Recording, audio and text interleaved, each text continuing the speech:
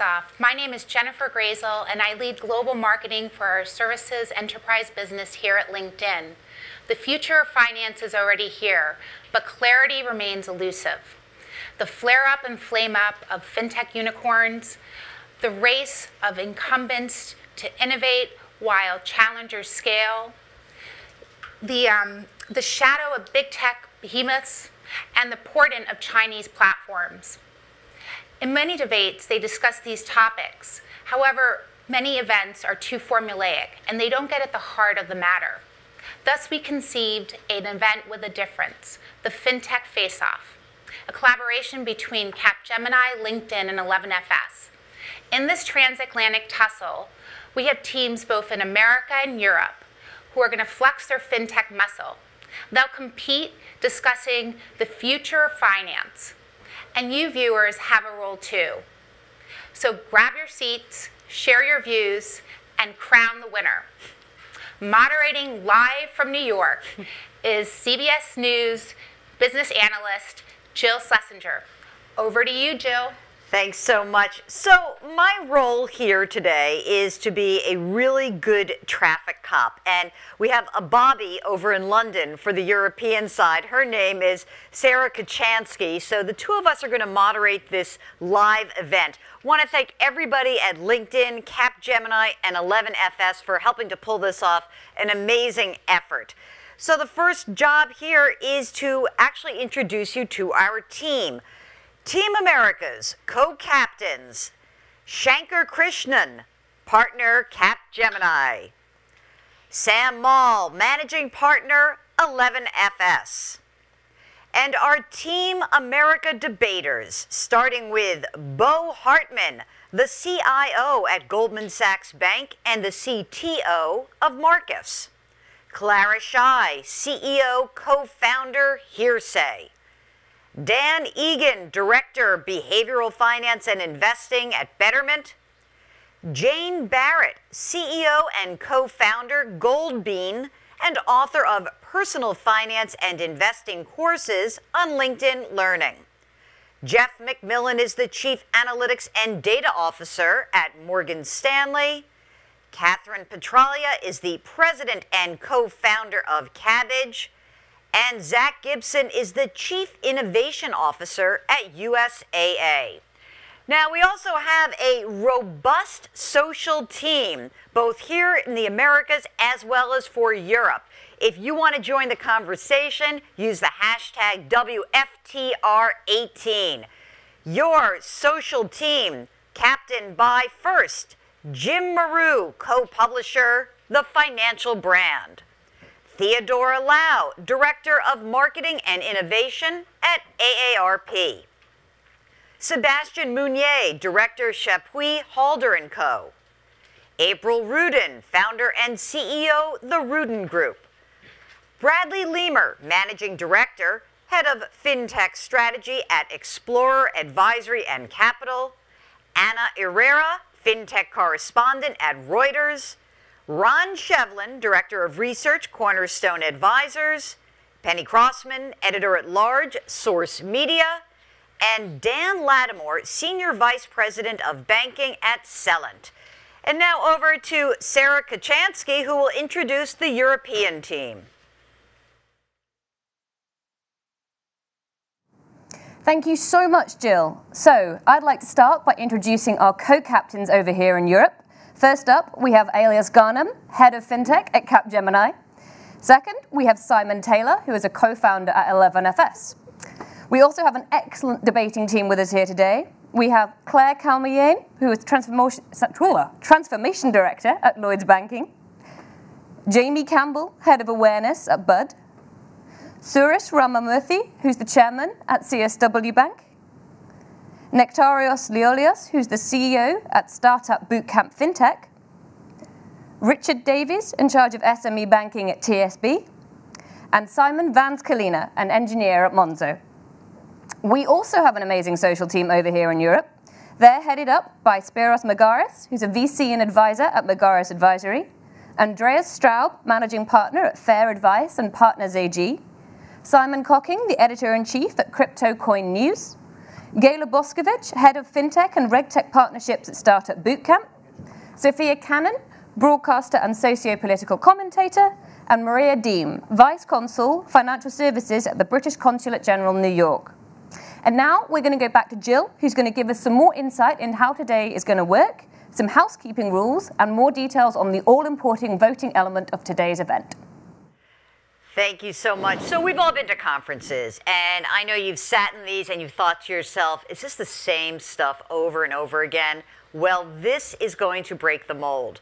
We're going to cover some topics that have been in the conversation, but not in this format. We're hoping to break new ground with a lively, engaging, and illuminating debate.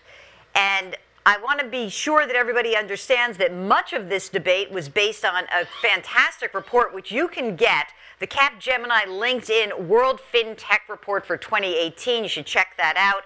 Using that, we've divided the event into two main sections. The first hour will be financial services, customer trust, and journey. The second hour, collaboration models between fintechs and traditional financial services firms. Now, each of these two main topics has two has five specific questions, so it's going to move along very quickly. In case someone goes too long, not that that would ever happen with any of the fabulous panelists on either side of the Atlantic, but just in case, we're going to have a timer. We're also going to have a buzzer if they go too long. It's kind of like a high stakes chess match meets a frenetic game show. Our modified format uh, for a debate will be as follows. For each question, both teams will start by laying out their opening positions. Each team will then have the opportunity to go first. The Americas will kick off the odd numbers. The European team will open the even numbers. At the conclusion of the opening positions from both teams, each team will then have a rebuttal period. Then one of the team captains will sum up the round, and you then have to do a little bit of work. It's time for you to vote. And the way that you vote is you go to Twitter and you will follow the instructions at the bottom of your screen. There'll be specific, specific hashtags to use. Sarah and I will each announce the results of the rounds at the end of the subsequent round. Are you ready? Because it is going to be a very bumpy ride. Let's go. Okay, here we go. The first section, customer trust and journey. And what we know now is that expectations for convenience and personalization are driving firms to quickly adjust to meet customer needs. The companies that deliver personalized, relevant, and seamless solutions will be among the winners. Our first question, what are the most overhyped and underwhelming emerging technologies in financial services today. Which technology actually has the most realistic chance of redefining the banking experience? We are going to turn to Kathryn for the opening position for the Americas. Thank you. The Social Security Administration was founded in 1935 as a social insur insurance program to pay retired workers. In 1946, the administration added the words not to be used for identification to the card because even 80 years ago, they knew better than that. Absent any other way to identify consumers for everything from financial transactions to healthcare services to employment, the Social Security number quickly became the only way to confirm a consumer's identity. This scheme, as we all know, is seriously flawed. A quick Google search for KYC solutions yields page after pages of ads and results for all kinds of services claiming to solve any company's identity verification woes. By the way, if anyone from Pegasystems is listening, I think you're spending a little too much money on AdWords. Take a quick walk through any fintech conference, and you'll see booth after booth of identity verification startups. Identity management solutions are the most overhyped and underwhelming emerging technologies today. How many of you are disappointed I didn't go with Bitcoin on this? Old and new companies alike seek to fix our broken national system of identity verification. They can't do it, but it's not their fault. Increased regulation around identity management after 9-11 was very well intentioned, and the regulation continues to flow from FinCEN as we attempt to curtail money laundering and terrorism financing. We all want this, not just for AML KYC purposes, but for everything. Every day reveals yet another story of a hacked system, company, or election. Our national security depends on solving this problem, and some of our best and brightest technology minds have their hearts set on solving it. But until our governments adopt a national identity management strategy, one centered around something other than an easily guessed, purchased, or stolen nine digit ID, the problem simply can't be solved. Many countries around the world have tackled this issue with technology, including densely populated countries like Indonesia and India. Social Security numbers were never intended to be used broad, to broadly verify identity, and it's clear that our continued use of them puts our identities and our democracies at risk. The only solution that will work is a willing coalition of public and private organizations that work together on this issue. Until then, every tech company that claims to have the identity management crisis solved is just biding their time until the next breach. Thank you. All right. Fantastic, Kathryn. Thank you so much. And now we will have the opening position for the European team. Suresh, lay it out for us. Okay, so the overhyped technology is obvious. Uh, blockchain in its fifth or sixth year, um, it's like a hammer looking for a nail, and it's found a whole bunch of nails that are holding some odd things together. So I would look at, uh, from a banking perspective, uh, blockchain as is is extremely overhyped, is unlikely to, it's, it's likely to come back in a different way, but as it is, it's, it's, it's meant for a decentralized banking system, not for a centralized uh, bank, regulated banking system. Uh, in terms of uh, underwhelming technologies, um, I, you know, I start to lean more towards Kathryn um, but more towards what I think uh, is a preventative compliance regime in banking. Because end of the day, the biggest, um, what you call block in a bank, the, the, the thing that slows everything down is compliance. And in a digital world, if the number of transactions we're going to do goes through an order of magnitude of one or two or three, even three zeros, uh, the what's slowing us down is going to completely gridlock banking, and you cannot do whatever you need to do, whether it's simple payment. So um, it's, it's, it's, it's, how you do preventative compliance, how you, how you re-engineer banking is not talked about as much as the front-facing, consumer-facing, or blockchain type, you know, the uh, hyped word. So I would say preventative compliance, and one of the key things that you need for preventative compliance is a digital identity, which Kathryn talked about, because a lot, I would say more than half of the problems comes from trying to build a profile against or trying to build a unique profile against a human being or an entity, and you don't have a public good like uh, you have in India or in some other countries where digital identity is a public good. Uh, whereas in, in the US, it's uh, uh, what is a reasonable effort of a banker to find out what your identity is and which can be completely disagreed with by regulators. So you have absolute opacity on how you actually manage uh, identity verification uh, in one of the most developed countries. There are other countries that have figured this out, like Mexico, where you're going to soon have digital identity, I believe. Uh, but I think that is uh, very underwhelming, but it's, it's actually one of the inputs into compliance is digital identity, and that today to me is very underwhelming, and I think that needs to be looked at. So, boss back. All right. Well, now, this is quite interesting because we have uh, two different views of this. Kathryn lays out the identity management systems as underwhelming. Suresh, the blockchain, of course, we knew someone was going to bring that up. Uh, I also note with great laughter his idea around the compliance issues since I am married to a compliance professional and I was sort of hoping that would be like for the rest of my life, but maybe not. Uh, now we've got first up for the U.S. team, we're going to have our rebuttal from Jeff. Jeff, take it away. Thanks, Jill. So I would say I would say the most overhyped uh, technology is AI, and the one that has most promise is AI. And I say that because we use this as such an amorphous blob of technology. And candidly, most people have no idea what they're actually talking about when we're talking about artificial intelligence. And there are aspects about artificial intelligence, anomaly detection, uh, identification of uh, opportunities, next best action, that are really powerful and can drive your business forward. Um, and then you sort of drift into this sort of sentient being space, and we are so far away uh, away from those things. We've done a lot of testing ourselves, and um, you know, our jobs are safe for a while, particularly in the high-end world. And, uh, and what we have found is that we have to stop making this conversation about who is smarter, myself or the machine, and start talking about how we make ourselves better at what we do using the technology uh, that's available. Lots of players in this space are sort of chasing after bots, and I met with a firm the other day who shall remain nameless, who basically said, listen, I can create a bot for you in 10 minutes if you give me a bunch of questions and answers. You can create a really bad bot in 10 minutes um, with a lot of technology today. It takes months and even years to actually do it the right way. The second thing I'll say, the, the second most powerful thing you have in your organization is actually not a piece of technology. It's leadership and it's culture. And we spend so much time talking about the next new cool widget that's sort of coming down the line that's going to take us to the next century. And the reality is the reason you will fail has nothing to do with the fact that there is not a vendor solution in the marketplace that can solve your problem. The reason you will fail is because you could not align your business objectives and your organizational structure to embrace these new technologies in a way that actually grow your business and move the needle forward. Thanks, Joe. Oh, wait, wait, wait, wait. Oh, man. That was good. I don't know this man that well, that. just so you know.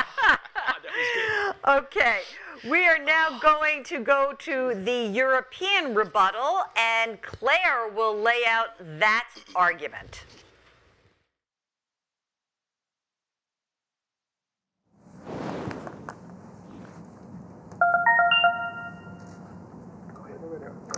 I think it's, it's interesting we are talking um, since the beginning about technology when we define the customer experience. Uh, for me, it's really the customer that is defining this experience, and we have not talked about it for the last you know, five minutes or six minutes. Um, customers are setting the bar.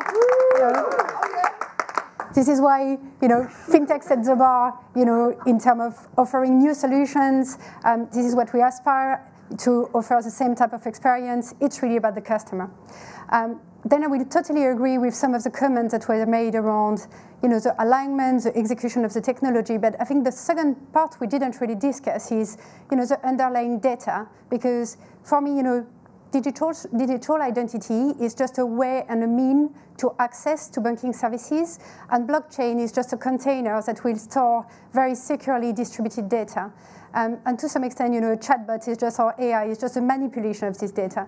Really, data is the underlying, not technology, but the underlying asset that is will, will make change uh, and redefine the banking experience on the future. The ability of organization to have highly personalized experience um, that they deliver to the customer is a trend we are seeing clearly in the industry.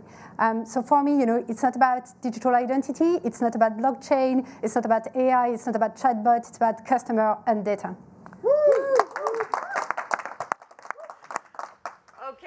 So at the end of each round, we've got a team captain who will kind of provide a nice, tidy summation for you. Sam, give us a summation of round one. So actually, uh, first I got to say this because my wife keeps texting me. I know my socks don't match, all right? And it's Eli's fault. He did the laundry. I swear to God, the kid has no attention span and it's driving me crazy. You all will see that in a minute. What's the most overhyped technology? freaking everything. Seriously, if there's an industry that can overhype, we're it, right? We push we, AI like crazy, blockchain like crazy. We talk about big data.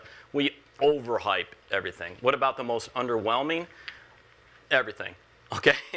Um, honestly, thank you, Elon Musk, for launching a car into space. That was pretty cool. I like that. But I, I like what Bill Gates says. He's smarter than me. Yeah, I think everybody knows this quote. We always over always overestimate the change that will occur in the next two years and underestimate the change that will occur in the next 10. Don't let yourself be lulled into inaction. Ooh, I got that in. Proud of it. Okay, now it is your turn to do something yourselves as you watch this wonderful debate. Go on to Twitter and start your voting process. You will see there are two different hashtags, one for the Americas, one for the European team, and you will now be able to vote. We will announce the winner of this first round in our next round. And for that next round, I am going to Sarah, who will start in with round two. Thank you so much, Jill. What an exciting start. We've already hit blockchain, AI, and compliance, and we're only 20 minutes in. So we're going to continue that trend and move on to a subject dear to many of those in the fintech industry's hearts, data, and specifically how firms can extract maximum value from it. So our second question is, how are companies leveraging data to understand customer needs, improve trust, and drive engagement and loyalty. A reminder that our panelists can use examples from other industries if they like on this one. And we're going to go straight over to Jamie, who's going to give us the opening position for the EU.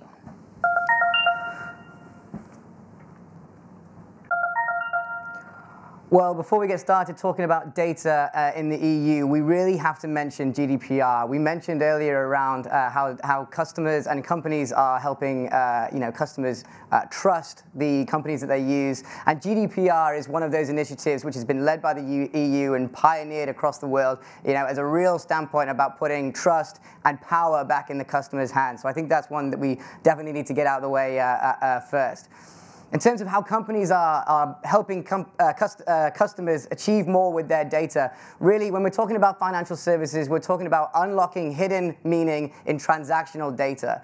Uh, companies such as Bud, uh, we're helping uh, small businesses uh, go through the go through the uh, onboarding processes of applying for small business loans. Uh, we're partnering with a company like iwoca uh, to pre-fill forms and make sure that companies can go through those processes as quickly as possible. Because let's face it, if you're a small business, you don't want to spend all your time filling out forms.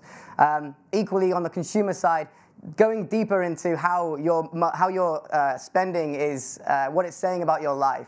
So really joining the dots between your spending and what that means for you. So if you're spending money and uh, on, on an airport or a, in, a, in, a, in a traveling capacity, um, you know, really providing the information back to customers on, uh, on, on uh, exchange rates, um, really being proactive with how data is being used and connecting people to those, uh, to those high pieces of, of information.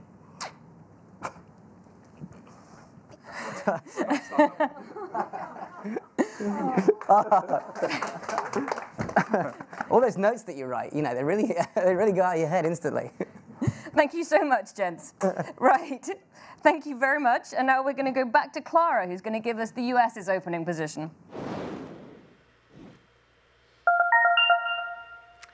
So everyone's talking about data, um, but it's really not about data. It's about insights and what you do with the data and insights. Um, it's interesting to talk about how data can be used to drive engagement and trust when you need to have engagement and trust in the first place to be able to get the data from consumers in the first place.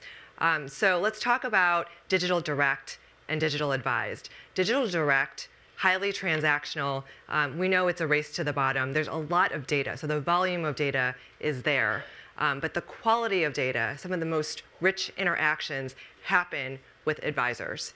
Um, and this is true both for commercial clients as well as high net worth um, individuals, that firms' most valuable clients generally have some sort of advisor because those clients demand concierge services. And with digital, with data, with automation, we can help scale those concierge services down the chain, which is why we see everyone from established firms to Schwab and Vanguard to even fintech firms like Betterment now actually having human advisors in that hybrid model. So we know the big unlock is really the advisors. What's happening right now is a black box, frankly.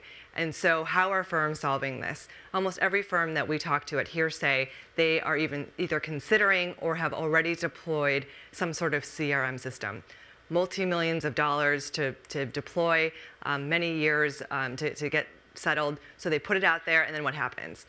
Nothing because advisors, like any of us, don't like to do manual data entry. So they stand up these fancy CRM systems, and advisors don't, after they have a great meeting with a prospect or client, the first thing that they do isn't to run back to their computer and enter all of their notes into CRM. It's just not realistic.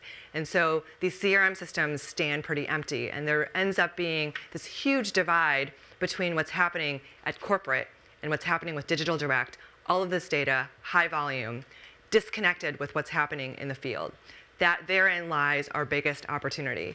Both in Europe as well as in the US, compliance can actually be our friend when it comes to data. The books and records requirement, um, where we have to capture and supervise everything that happens, from calls to text messages to social media to email, that is actually, um, it is a burden to capture, but it's actually an advantage when you're thinking about collecting data in structured ways. Thank you.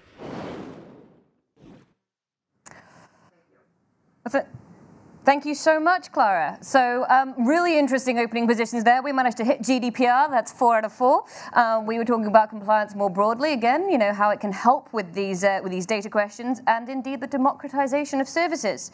So, a reminder to our audience that if you like what you heard, you can head over to Twitter to vote on who you think had the best position there. And whilst you're doing that, we're going to go over to Suresh, who's going to deliver the rebuttal for the European team. So data.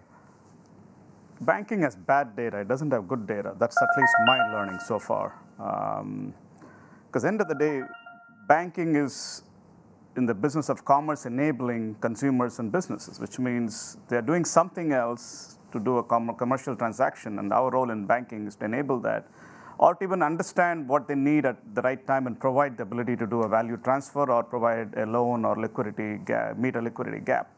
So what we found is, uh, as banking is evolving, the data from the past, historical data is very bad because there was memory constrained, bad machine, you know, smaller machines, and you don't have the contextual data that you need to do what this end is AI. We can't even get to AI. We have to get to machine learning. To get to machine learning, we don't even have good data to learn in a very organized, structured way.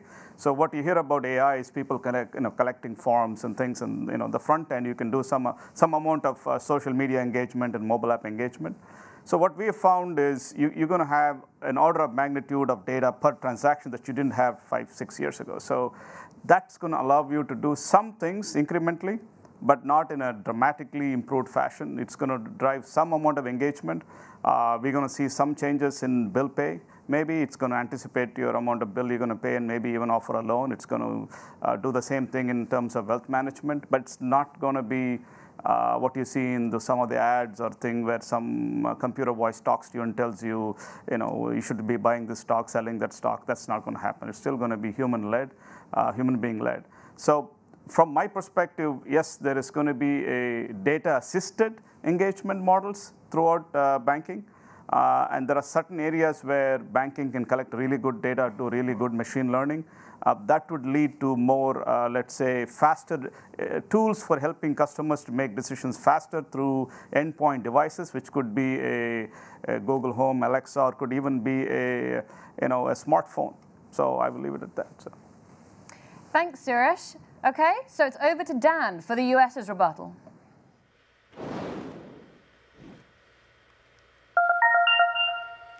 Uh, that's a, a very sunny outlook, Suresh. Wow. Um, so it's not going to get better and it's too hard. Um, so I think one thing that we touched on that is very important is that you need high quality data. And the way that you do that is you invest in systems to generate high quality data. One of the things that we do a lot of is many iterative small experiments. So you don't need big data, you need the right size data to answer the questions so that you can change the product that the customer sees, how they experience it. We've been able to do this in a number of ways to help clients make better decisions like maybe they shouldn't sell that stock or maybe they shouldn't change their allocation. Um, that involves also owning enough of the data through the entire pipeline so that you're not relying on third parties who can't do what you need them to do. Uh, Betterment has a feature called Tax Impact Preview that before a client goes through with a transaction, we are actually able to estimate the tax impact and tell them whether or not we think it's a good idea for them to go through with that based on the taxes they're going to incur.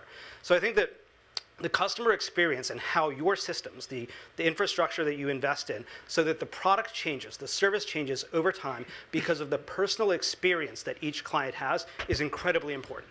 And the investment that you need to do, this is the big difference. It's not a matter of generating data, it's a matter of taking that data and iteratively changing the product that the customer experiences. Um, I'm going to end on one sort of strange question. Is the UK still part of the EU? Oh, wow. Nice one. There's some smackdown there, Sarah. Too early? Well, well the, the correct an- the, um, the answer is that yes, it is for now. Um, we're going to turn it over to uh, Elias, who's going to give us a quick summary on his thoughts from that first round.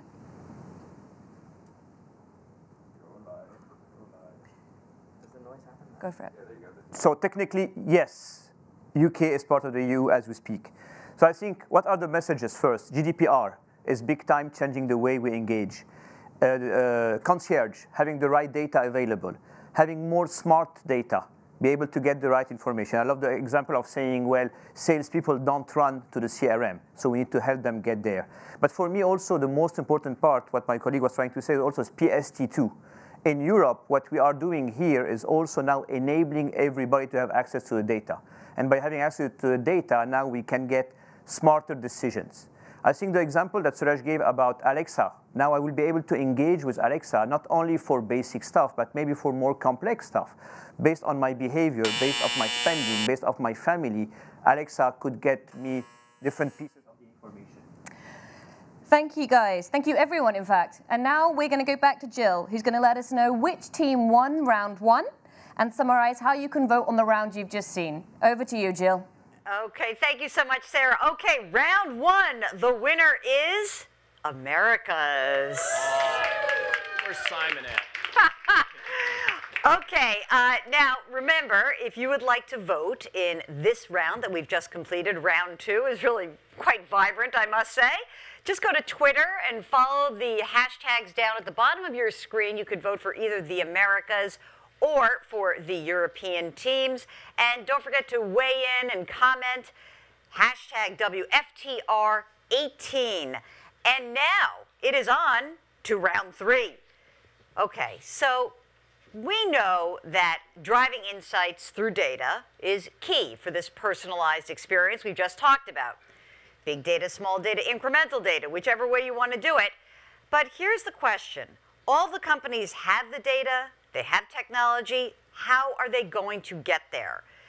Here is your question number three. How can banks meet rising expectations while saddled with legacy systems? Are APIs and open banking the final answer or simply a stopgap solution? For the Americas, the opening position will be delivered by Boe. So first off, I want to say, uh, Simon, haven't seen you in a while. That's a beautiful jumper. Thank you for wearing it, my friend. Um, so the, uh, the question has a lot to unpack. The first part about it is, uh, can you know, these legacy companies overcome the debts that they have? And we talked about technical debt, which we'll get to. But what's more important, there are three major debts inside of these legacy firms that they have to overcome. First one is product or process debt. Second one is organizational debt. And third one is technical debt which we'll tag at the very end of this. the first part is there's a lot of products and processes that the firms really have a hard time going after. It's difficult to retire a product. It's very hard to change a process inside of an ingrained organization.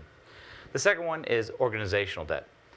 organizational debt is challenging. That's a cultural move. You have to move hearts and minds. And when you have large organizations, they create something that I like to refer to as the immune system. And the immune system is there to protect it for, for compliance reasons, regulatory reasons, or just the fact that we've always done it that way. And to tackle that one, companies put a lot of effort into it, but it's very hard to move the massive needle. Without moving those two pieces, actually moving the third debt is very challenging, technical debt. But we like to focus on it because of all the overhyped things that my colleagues talked about earlier. And it's also the, the big ticket item in the budgets. CEOs and CFOs look at that line item and they say, hey, what if I cut a third of that out? Look at all the things I would save through automation. But if you don't tackle those first two, automation can only make it so far. Before I get to the API and open banking question, because everyone likes to jump to the solution, I'm going to talk about how we tackled it at Marcus, uh, Marcus by Goldman Sachs. Those three debts that I talked about actually were very, very impactful to my thinking before I joined Marcus by Goldman Sachs. I lived my career in major companies that were partially good at tackling those things or failed completely at tackling those things. And the, the ideas that I generated in those times of running those platforms is that yes, I can put a new automation system in, or yes, I could always put a CRM system in. But at the end of the day, if I don't move those things, then I'm just really pretty much putting a veneer over other areas. Technology in these large organizations are ganglion cysts that stretch out everywhere. The last part that I'd like to say on the APIs and open banking really quickly is there are good frameworks, and they're just frameworks. There's something that's going to come out after that, and we as technologists just have to be one step ahead in making sure that we're doing it okay, thank you. And now over the pond to the opening position for Europe. Suresh, you're up. So I know I kind of agree with him, but I have a different take on this, having gone through a transformation. Uh, there are four things I which I've learned uh, in the last five years on this. One is um, it- banking as it is, or legacy banks or transactional systems. So you have like some, in some, even in a small bank, when we bought one, we had like 20 plus transactional systems, and I'm assuming a large bank has thousands of uh, unique transaction systems. So uh, banking is a process business. Running on a siloed transaction system and organizational structure is uh, kind of built around these transaction systems. You have a head of cards, head of debit, head of this, head of that. Whereas really, a, a card is a token for accessing money from a number in a database. So we had to rethink banking as a process. And if you really do that, it, banking comes down to less than 50 processes end to end, uh, with including embedding compliance in it, right? So that is the first thing you have to do is uh, to do an organizational transformation. You got to figure out what your processes look like, without which you don't know which way to redo the org, right? Uh, the next thing we looked at was there is a lot of cost centers that are built around and uh, what we call third-party vendor transaction systems that really prevent you from offering solutions that uh, uh, that, that really would meet the consumer needs, but the cost structure of multiple transaction systems don't enable you to do that. Uh, it could be bill pay, it could be card issuance. So we redid all of that. So we moved a lot of cost centers to profit centers. And one of the things that we, uh, the issues in banking is settlement and reconciliation is not talked about much, but it's the single biggest headache in banking because you could spend $1,000 chasing a dollar in you know, discrepancy. So we had to figure out how to do real-time settlement and reconciliation across all kinds of products. So you got to redefine how you do these, these uh, flows in banking. So once you get to that, then you get to the third thing. Nothing moves in banking without real-time compliance. So the existing legacy compliance regime is post-transaction random sampling of a few transactions to test other than watch list testing. That doesn't scale well because you, you have, uh, I'm sure all the big banks are building full of uh, false positive watchers, people whose only job is to look at false positives and you know, remove them or to put them into a case management. So we went to a real-time data analytics of every transaction that allows you to actually scale up with lower costs. If you do all this, you get to a different place. You get to a where the bank is uh, poorly addressable today uh, to a tokenized bank account, becomes a smart account. So the bank account itself is going to evolve from a simple static ledger-based account to a tokenized. All right. Well, so this is kind of fascinating because it looks like we're addressing the problem from two very specific standpoints. Um, I think that when you think about those three different debts, the four different ways to rethink your banking, you've got a lot to contend with. If you think one of these two guys made a better argument, head on over to Twitter where you can vote. Just look at the hashtags on your screen and you can start voting now. Or you may want to wait till after the rebuttal period. So now let's go to our beautiful rebuttalist, Zach, for the Americas. You're lovely. I've been called many things, uh, but beautiful is not one of them. Mm-hmm. Uh, but I have been called a father, and so uh, first and foremost, I'm a dad, but I'm a child of the 80s. And so I'm a child of the 80s, and I'm a parent of 2018. And so imagine a conversation I would have with my daughter, who's six, and if I looked at her and said, honey, I'm sorry I can't parent you because I'm a child of the 80s. I don't, I don't know how to be a parent because it's 2018 but I love her. And so what I've had to do is I've had to reboot my own internal operating system to be a parent of 2018, not a child of the 80s who's trying to be a parent of 1980. And so how are banks any different? Well, I love my daughter, but if you ask your bank, does your bank love you? Does your bank care for you? Does your bank want to see you achieve your goals? The answer in many cases is no. But the answer should be yes. And if the answer is yes, then the bank needs to figure out how. And having an excuse that legacy systems and operations and processes can't enable the bank to serve you is not acceptable. The answer has to be start somewhere. Start somewhere. Make it easy for your customers to do business with you. Make sure that their data is safe and secure. Help them pay down debt. Help them send their child to college. Those are things you could do today before you touch your core operating systems. So I would encourage you, bankers, and you, Europeans, think like a parent, love your kids, love your customers. Thank you. That's great. Nicely Um, and we're printing up T-shirts. Does your bank heart you any moment now? Uh, okay, we are going to go over to Europe. Delivering the rebuttal for the European team is Simon. Should I wait for the buzzer? No, I'll just start. Uh, my bank loves you, genuinely. we, we love our customers. Uh, I'm Simon, I'm an engineer, I work at Monzo. We built a bank from scratch in three years, so I feel a bit um, disingenuous talking about legacy because we haven't got any. Um, but I have worked for big banks before. I've worked for banks where you'd work for 12 months to get one tiny little change um, that didn't even really affect the customers. Um, when you say legacy, I like to like divide the world into like not just like legacy means there's stuff that you don't really understand that's old. I like I like to define the define the world by like before Google and after Google. See, a few years ago, Google basically took the technology that powers their data centers. They took microservices and Kubernetes and a, and a, and a programming language called Golang, and they basically open sourced all that and they put all that out in the world. And if you look around the top tech companies now, pretty much like all of the big ones are using the same tech stack. They're using microservices, they're using container management systems like Kubernetes, and they're using um, languages like Golang um, to basically build um, software that where you can release things at the speed of thought. You know, you can write some code. Like I literally released a feature to our staging environment while I was waiting for this thing to start. Um, that's like that is the pro- that is like it's not good enough anymore to say like oh we're managing down our legacy we're managing down our technical debt no if you if you're a company that has been born after this sort of like step change in the way IT is done then you're never going to catch up um, when we were building Monzo from scratch, we started three years ago. We talked to a lot of people about like what even is a core banking system, and no one could really tell us like is it a, a series of credits and debits that sum to zero, or does it include the card processing, or do you have to have an end of day batch? Like what are, what are we even talking about? And in the end, we decided that we would just have one system, like one giant system. It doesn't have an API; it is an API. It uses HTTP all the way from the customers all the way through to our core backend systems. It's just one giant API. So there's no legacy systems to manage.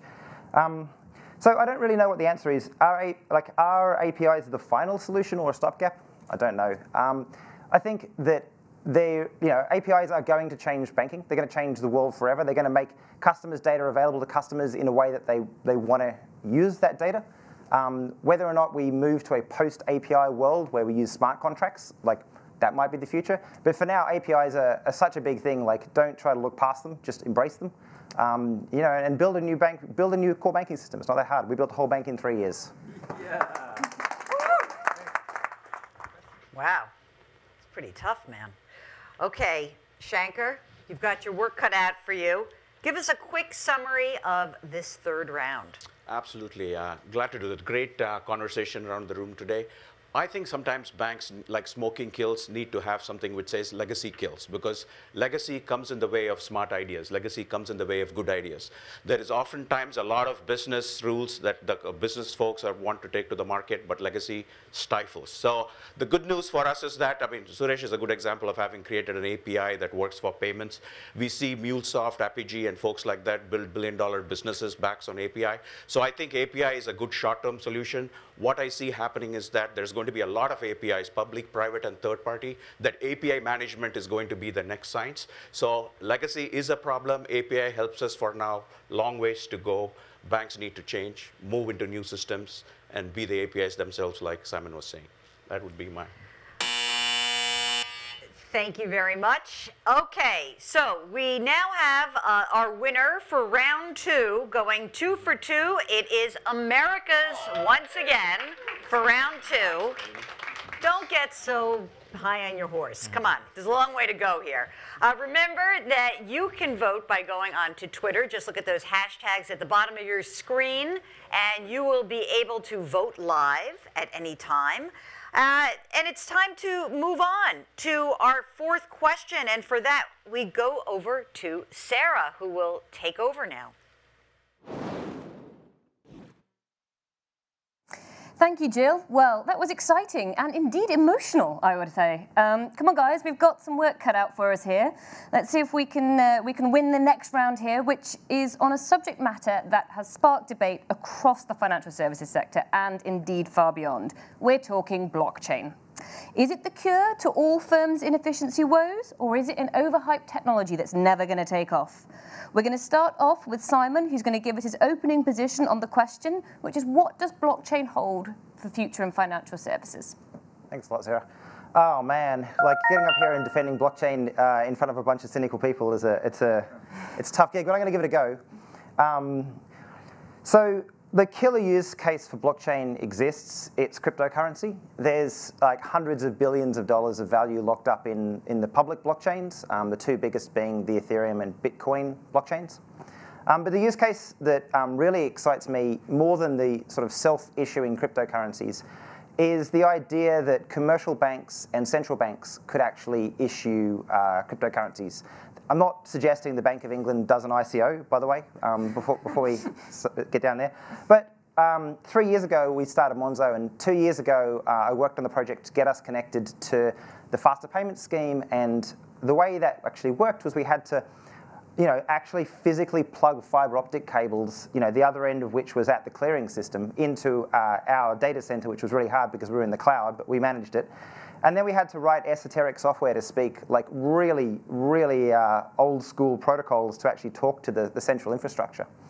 And I, I kept thinking the whole time, like, this would be so much easier if there was just the trust in cryptography. If there was just a smart contract out there where we could take you know, the amount of value we're attempting to send from one bank to another, like as a centrally bank issued cryptocurrency and send it to a smart contract with instructions as to who the final recipient was right? It would have saved us like a year of, of hard work. So as an engineer, like for me, the technology, um, it seems novel and it seems very, very powerful. Um, and I'm not really, uh, I don't really think it's, um, I think once you've actually played around with it, it's, it, it, it is credible. It's not just pure hype. Um, blockchain's been around for 10 years now, and, a lot of engineers think it's, um, it's, it's, it's, uh, it's good technology. It just, it's going to require um, like multiple parties to be on both sides of every trade, right? Um, so the, like, to get access to, like, when you get access to faster payments in the UK, that's just a clearing system. Basically, you're just sending messages about, you know, who's going to receive the money and who's sending the money. But the actual settlement system, um, that actually happens at the central bank. So that happens at the Bank of England. And the old lady of Threadneedle Street doesn't work on the weekends, right? Like, so you, you basically, you only settle three or four times a day, and that puts counterparty risk out there as well. Um, if the central banks were actually you know, brave enough to embrace blockchain and issue their commercial banks with sort of tokenized national currency, issue them with actual uh, currency. Thank you very much, Simon. So now it's over to Jane for the US's opening position. Simon. Thanks, Simon, for that uh, very well-rounded argument. I think uh, anyone who's been in the fintech space a while, or frankly any technology space, you know to beware the prophets. And you know who I'm talking about, right? Every conference you go to, they have the solution for how everything is going to change. I've been in technology since the 90s, and every year is the year of something. Hmm. It's year of search, it's year of social, it's year of mobile, it's year of e-commerce, and everything is going to change. But technology is additive. And one of the big issues with blockchain is a, there was a lot of profits and a lot of money without really a whole lot of use cases coming quickly thereafter. And B, some of the, these prophets were talking a lot of theory, right? Show me, show me the money, show me where it actually goes. So in wealth specifically, I am an investment advisor in the wealth sector. There really hasn't been a killer application beyond crypto. Like we have a database innovation, and that's what blockchain is. There's been a couple of exceptions in terms of innovation in wealth. I think tZERO have done something really interesting in terms of um, the back end of trading. Um, blockchain exchange, which is launching next month, should be a very interesting innovation. But beyond that, I think we can all admit that the innovation's been pretty limp. So I'm going to issue a challenge to the prophets, who may or may not come after me. If you were to decouple crypto from blockchain, all we have is a database innovation. Challenge one. Challenge two, what is the blockchain application that the humans of the world can get? Like seriously, distributed ledger, can we have some better words, please? That like some actual human beings can say, this will make an impact on my life. It's solving a problem that is not currently being solved, however badly. It show me some exponential impact of, of blockchain application that can actually make a genuine impact on my life. Thank you. Oh.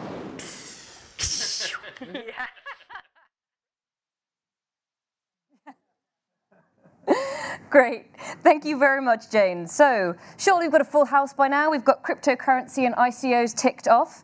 We've also got one blockchain evangelist and several challenges issued. Um, so, let's see where we can get to when we get back to the rebuttals. But before we get there, a reminder to vote for who you think won on the opposing positions there. Now, we're going to go over to Nektarios for the EU's rebuttal. Uh, first of all, we've done jumpers, we've done socks. Can we please do sneakers? Uh, I'm not even sure who I'm rebutting here. Uh, but ultimately, who cares? Why are we having this conversation? Uh, there's, we, we run accelerators, right? So we see, I don't know, hundreds of startups every year. About 25 to 33%, a quarter to a third of all applications that we get are somewhat blockchain related. And most of them shouldn't be. And most of them are really, really terrible propositions. But people get excited by the tech and they build something and go, maybe we should use conventional technology. At the same time, we have all this industry fora that generates so much noise. And we like to talk about noise because the reason we're doing this today is to get away from the noise, right? So why are we perpetuating the noise? If I were to bring in a bottle of a Heinz product and put blockchain on it, blockchain on it would be like 58 varieties, but nobody ultimately cares. The other side to this is not that people don't care, but it's the impatience with it. This is new. This is new territory. This is completely new in the way we interact. It's new technology. It's different applications that we're still exploring. But people are so impatient, and it takes longer for somebody to pr be promoted within a bank that you actually see something like this happening uh, to fruition. But people getting um, very frustrated. People are talking about, oh, it's not going to work. There's no need for it. Reality is we have the opportunity to use something that is fundamentally new, even if it's a new way of using databases. Um, that we can actually use quite effectively if we do it right and if we give ourselves the time to explore. At the moment, we're in exploration stage, right? Why are people being so negative about the exploration? Why are people so desperate to figure out the details? Why are we talking about tech rather than talking about solutions that we're looking to find for problems and then find the right technology to apply to this? So it is frustrating. At the same time, it does something that nobody really addresses, but it has the potential to change the relationship and the ownership we have on data. So we're moving from a space, so we have the potential to move a space where somebody owns our data to us being able to control the data through this technology. And this is a very interesting angle, right? But it's not part of the debate. The debate is all about show us the money. Well, maybe not yet, but give us some time, right? The debate is all about, well, there's all these kind of ICOs. Um, what are they doing? Reality is, yeah, there's definitely companies who manage to raise millions and millions of money who shouldn't be, should, shouldn't be, be able to do that. But give itself some time to breathe, give it time, give it time to actually consolidate itself and establish itself, because otherwise we'll end up having the faster horse rather than having the car. Thank you, Nektarios. So now we're going to head back to Dan for the US's rebuttal.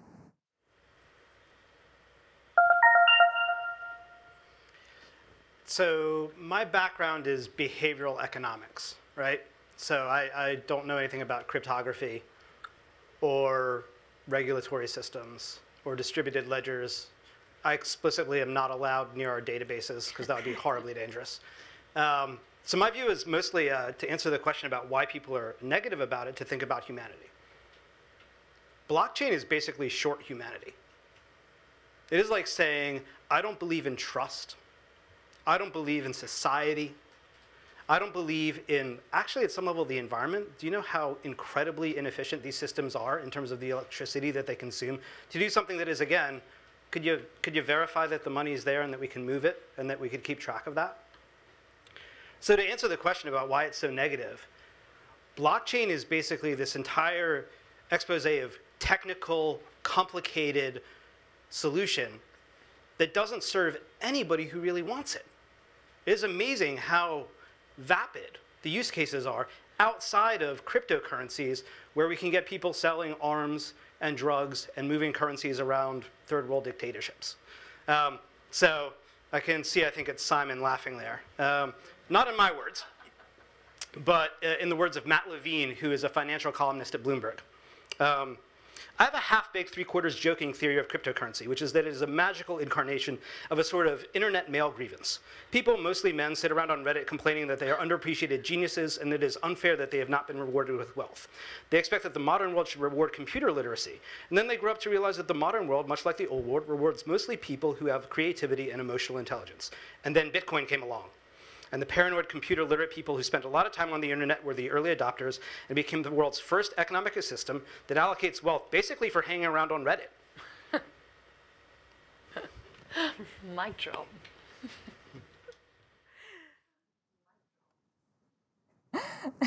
Thank you very much, Dan. Um, so over here we have Simon Taylor, who's going to give us what he thinks are the salient points on that uh, subject matter.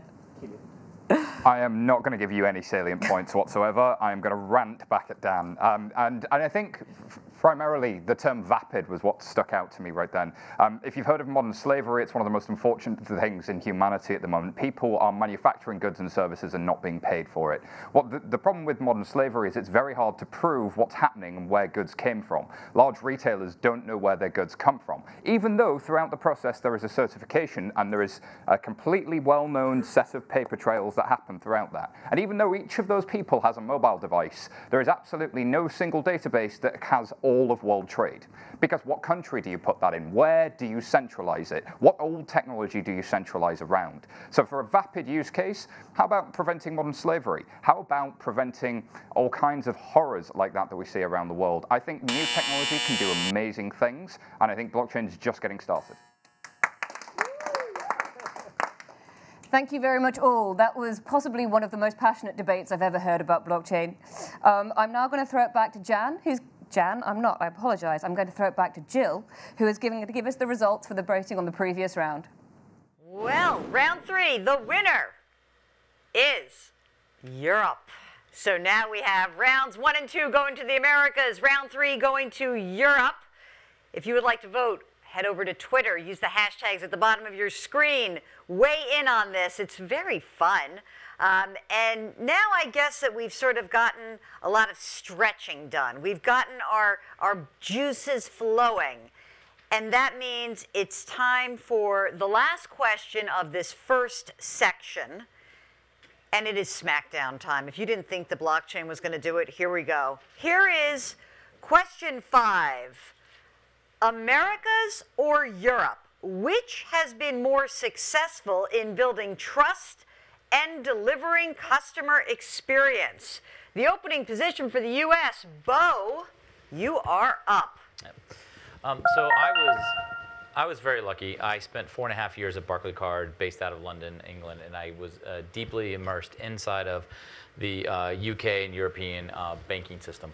Years before that, I was with Capital One. I helped launch a business in France and helped shut that business down as well. So I had the experience of not doing digital banking very, very well.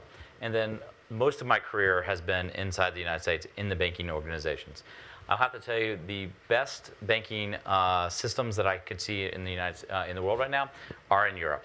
And I know that so some of my colleagues in the United States might feel a little taken back about that. But the Europeans, specifically in the UK, have definitely taken the lead in that domain about opening up PSD uh, 1 and 2 most definitely opened up the doors for faster payments. The open banking standards have been driven out of there. The fintech revolution, I argue, started in Europe. But before the Europeans get too excited about that, I would tell you that um, the one thing about the US that you can always tell is that we're a sleeping giant. And when we wake up, we're more than happy to borrow all the great ideas from around the globe to actually kick off and create innovation in and of itself.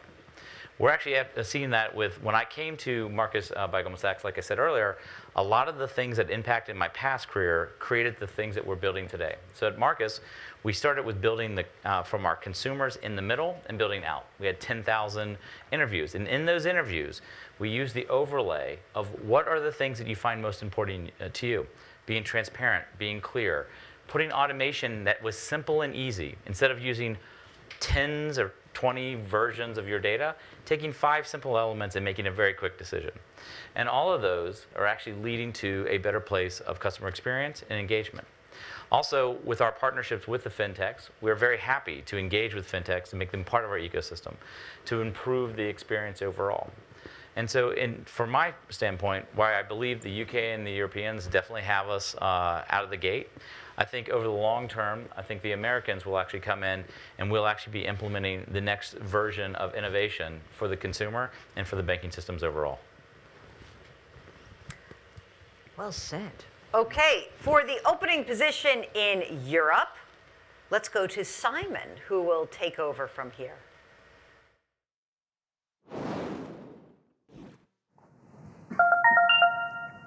Four words treat the customer fairly. That's it. It's that simple. Uh, the UK regulators, um, when we were thinking about starting Monzo, we were really super clear. Like all regulation basically boils down to don't break the law, but treat the customers fairly. And this has like been the ethos of I think of the financial services market in the in the UK for the last few years now, ever since probably 2009. Um, and you can see that coming through everything, like through GDPR, through PSD2, through giving customers access to their data. Um, it's all about treating the customer fairly. Um, but beyond that, I think there's something else. Like if you want to build trust with your customer, you have to never betray them. You have to never reorder their purchases so that you make the most amount of, over, of, of overdrafts. Or you, you have to not send them letters saying that you're going to, you know, um, charge them for an unauthorized overdraft fee after you've already charged them the unauthorized overdraft fee. You have to not charge them $30 for a one pound being overdrawn. You have to basically, it, it's so counter to the way banks have been run for so long, the way banks here um, used to be run. So I think, um, I think like at Monzo, we basically decided to be really, really transparent about everything from the early days. And um, the, the feedback from customers has been incredible. Like people just love us. Um, they are obsessed with Monzo, the color of the cards, with the like the you know it's like apparently it's a dating line now. It's like if you got Monzo, um, and like all that comes back to basically treating the customers fairly and being transparent. And um, so yeah, that's it basically. Treat the customer fairly. Okay, four words, treat that customer fairly, be transparent. Um, and will that US sleeping giant catch up? You may want to vote on that right now. If you do, head over to Twitter, hashtags at the bottom, and feel free to weigh in on this argument, hashtag WFTR18. Now, for our rebuttal here in the US, Miss Clara, tell us what we need to know. Two words. Two words, free market. The customer will go where they're treated fairly. Venmo, PayPal, where did all these companies start? Um, the US will win in the long term because fintech um, is driven by tech. And tech is, uh, we lead tech in, in the US. And the fact that we have this scale means that, as you heard from my partner Boe earlier, that all of the best ideas that we see in Europe, in Asia, Latin America, all around the world, we will fold into um, the behemoth that is, that is Silicon Valley in tech um, and everything America. That's it. Brilliant. Drop the milk. That is good. Uh, okay, let's see. We've got a uh, European rebuttal. I believe that that would be Simon who's up.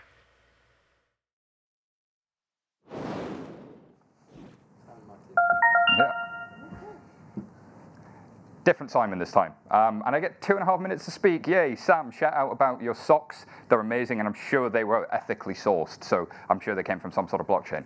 Um, all right, uh, so the interesting thing about a free market and a big market is it's a big country with very different cultures. Um, Americas are a very big place, but especially uh, North America, you have the West Coast and the East Coast. You have policy on one side and tech on the other side, and you have a, uh, what five levels of um, federal regulation. Each state needs to get regulated. Getting anything done costs a lot of money and is extremely hard. Now, there are good initiatives like Lab CFTC and similar initiatives from the OCC that are coming out that will mean the US will improve. But I think if Europe has an advantage, and especially the UK, it's policy the ability to have three of the world's top 10 universities within an hour's drive of London. You've got all of the policy making decisions right there in London, and you've got the tech center of Europe right there in London, and you've got Berlin just down the road, and many of the great tech centers in the Nordics. We have a burgeoning ability to grow a new set of businesses. And I think the question was always, will Europe develop the unicorns? Will it develop the decacorns? Will it develop the really big companies?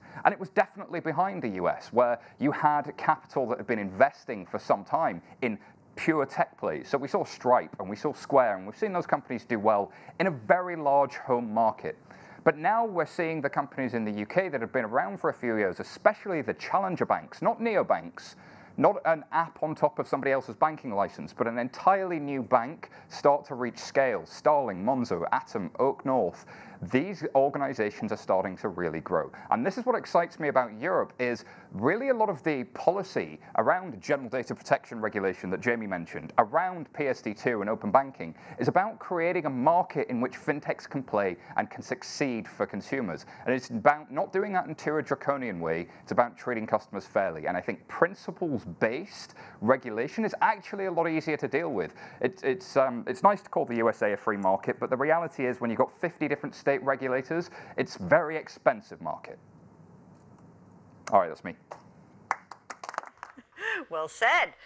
Okay, uh, we're going to have a summation of this final round in our first section. And just remember, right after this, we will have a break. So just remember that. Okay, Sam, would you like to summarize this wonderful SmackDown? I think we all just came across as pompous asses. we didn't talk about China. That's true. We didn't talk about Africa. I mean, God, come on. I mean, honestly, right? Well, let's look at what happened. What's happened in China with mobile, right? And, and cash.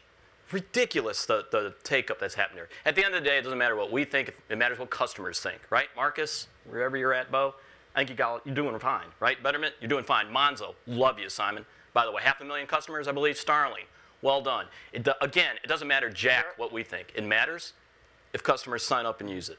That's the bottom line. They're going to tell us who wins. And in China, by the way, they're kicking our ass. All right. Uh, okay, guys, uh, this is very exciting because we have the round four winner, and the winner of round four is Europe. So we are tied up, even Steven, two all right now. And uh, we're going to break now for just a quick 10 minute break. While we are on break, feel free to join the conversation on Twitter about this wonderful debate. It's hashtag WFTR18. When we return, our next section will be exploring collaboration models between fintechs and traditional service firms. And that will begin in just about 10 minutes. So Thank you very much, and we're going to take a quick break here and get right back into it.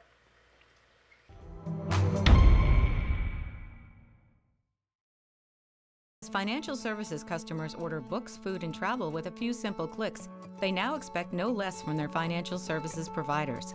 Fintechs have been enabling new technologies for FS customers, and their profound effect on the industry cannot be underestimated. While fintechs continue to lead the way in transforming the customer journey, the revolution that painted them as competitors is fizzling as these agile startups realize the struggle of competing alone.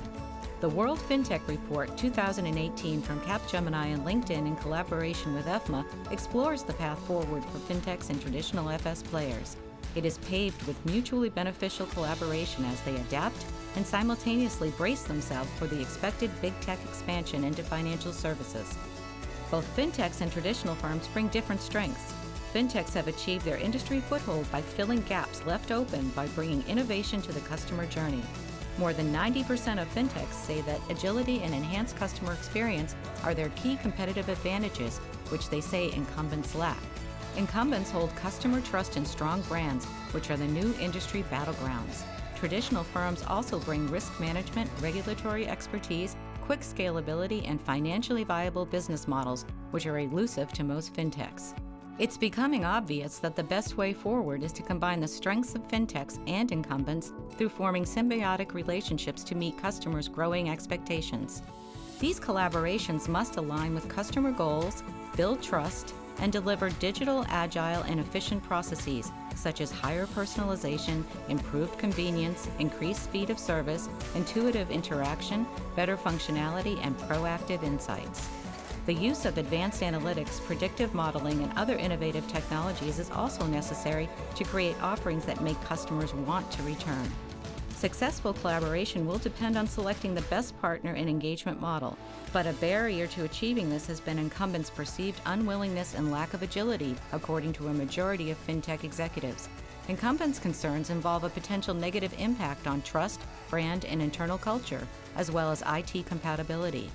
One way to encourage successful collaboration is for fintechs to participate in Capgemini's Scale Up certification program a 360 degree review to qualify the most prepared scale ups for effective collaboration with financial institutions. It will be important for these symbiotic relationships to take hold soon. Before long, big techs such as Amazon, Google, Apple, and Alibaba will be looking to expand their footprint into the industry. Google, Apple, and Amazon have already expanded into the payment space, and Alibaba and its subsidiaries is already ahead of the curve, collaborating with a number of traditional players. Other big techs will soon follow. To learn more, download the report at fintechworldreport.com or contact us at financialservices at capgemini.com or jgrazel at linkedin.com.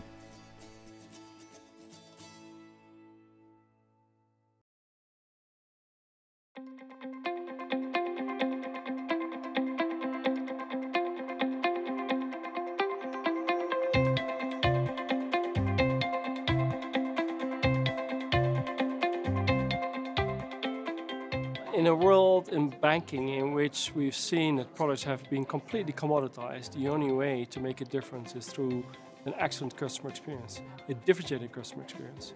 And in delivering that differentiating customer experience, it is the global techs that have actually set the bench to our customers and raised the expectations. So if you want to deliver on a differentiating customer experience, in my view, it has to adhere to the four principles of personal, instant, relevant, and seamless.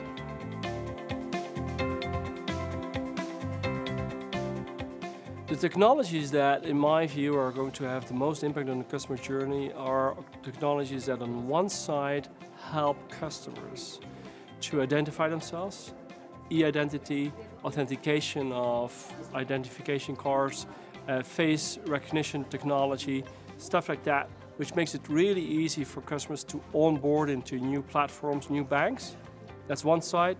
And the other side is everything that has to do with artificial intelligence in order to help customers to understand what their behavior delivers in terms of what kind of person they are and therefore what kind of financial advice fits with them so that they feel truly empowered to take the decisions they need to take.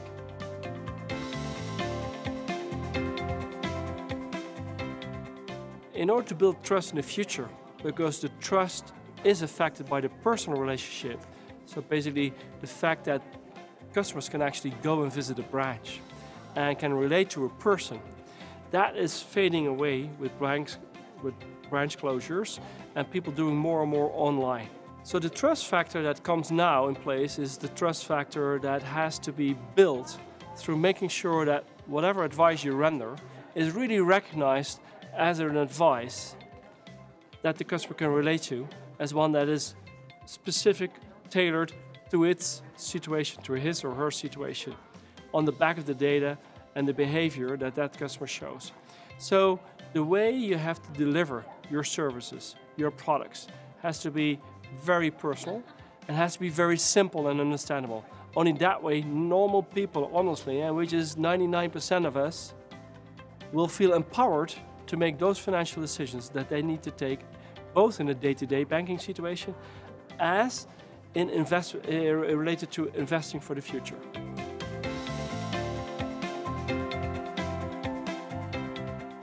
So every investment that we make and every fintech that we collaborate with, they have to play a role in our strategy.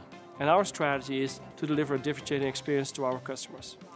So every fintech, everything they can bring on board that is actually geared towards their strategy is one that we want to collaborate with, that we want to invest in. This can be in specific areas like payments, like aggregation or robo-advice, but can be broader as well. The way you work with fintechs, though, is different per fintech. Some are a little bit bigger, they have their own standards, they have different banks they work with already, and some are starting from scratch. and they're looking for an inroad into a bank actually to test their technology. So depending on where they are in their own development, you have to work with them in a different way.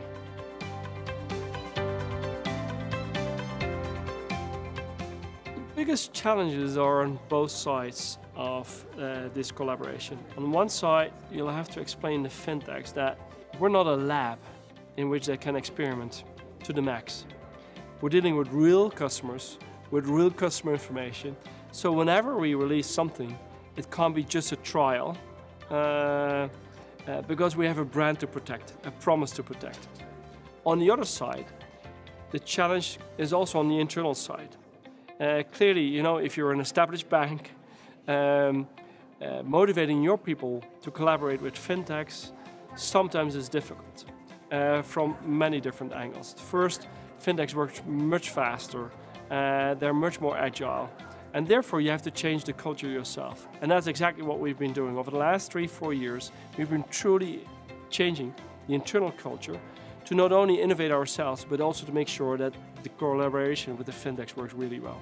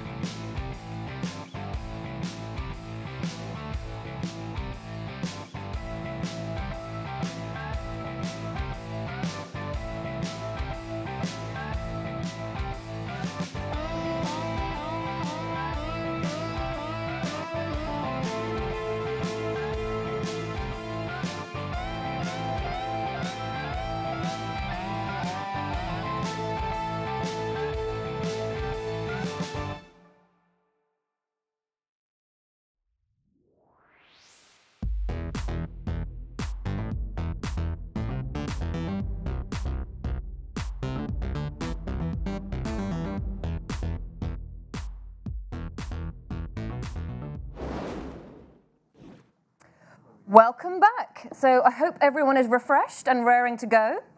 So we're now going to move on to our second set of questions, all of which will address the topic of collaboration models between fintechs and traditional financial services firms. Our first question in this section is one that's sure to be right up the European team's street. How are challenger banks making their mark right now? And we're going to go straight over to Richard for the European team's opening position on this one. Great, thanks, Sarah. So I guess you've got to start with what is a challenger bank.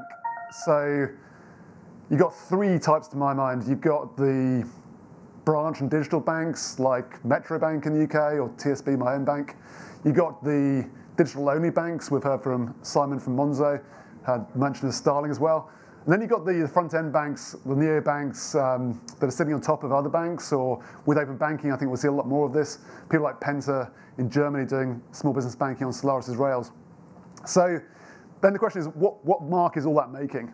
So you've got a huge, diverse ecosystem of challenges out there. And I think you've got to measure that by sort of two things. One is customer adoption, and you kind of look at the likes of Monzo with half a million customers, Revolut with one and a half million customers. You look at Klarna in Northern Europe in e-commerce, got 10% now market share of e-commerce and 60 million end users. Or ourselves TSB, we've lent 10 billion, 10 billion pounds uh, in mortgage lending in the last three years. So there is, I think, real impact there across that range of challenges from a people actually using it. But I think it's also a question of beachheads for a lot of companies where they are looking to really get in, say Revolut with a prepaid card and FX, and then build out a much fuller range of services thereafter. So some of the impact is, is very much still to come. And I guess you can also measure impact in terms of the incumbent banks, be it in Europe, be it in US, and imitation is clearly the greatest form of flattery. And you see quite a lot of investment now, particularly in mobile apps, from the big incumbents trying to copy a lot of the features that the challengers are coming up with. So I do think there is a pretty huge range of impact now coming from the challengers, at least in Europe. So I did um, have a quick look at a survey from Sibos Money 2020 in preparation for this, and uh, top 50 digital-only banks in the world. There was uh, 22 from China and Asia and Africa to back up the comment made just before the break. There was 23 from Europe, and there was only five from North America. So you guys got some work to do. Thank you very much, Richard. So to answer that question, we're going to send it over to Zach in the US.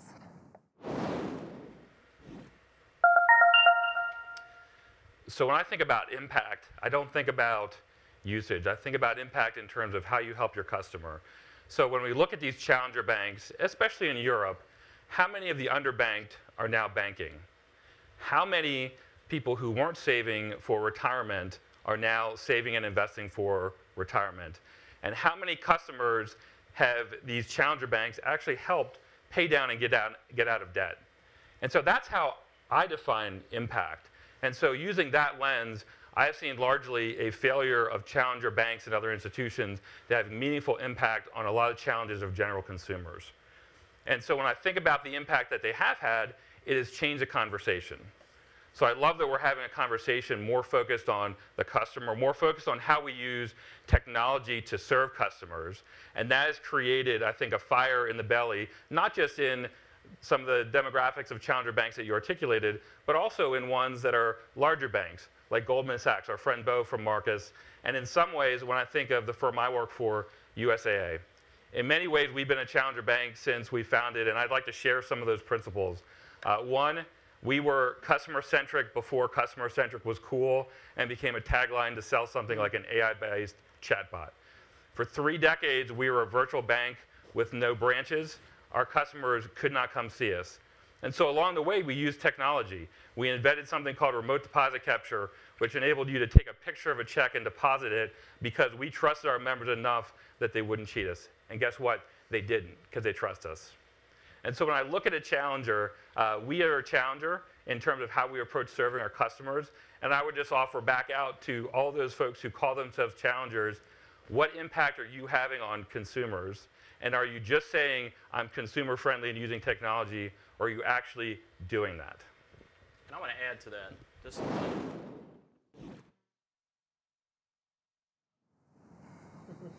Um, Thank you so much, Zach. So, uh, in summary, though, we've got challenger banks are gaining ground when it comes to customer acquisition, but there's still a way to go when it comes to social impact. Uh, so, if you like what you heard and you think that one side has the edge there, please do remember to head over to Twitter to vote. And whilst you're doing that, I'm going to hand it over to Simon Taylor, who's going to deliver the EU's rebuttal.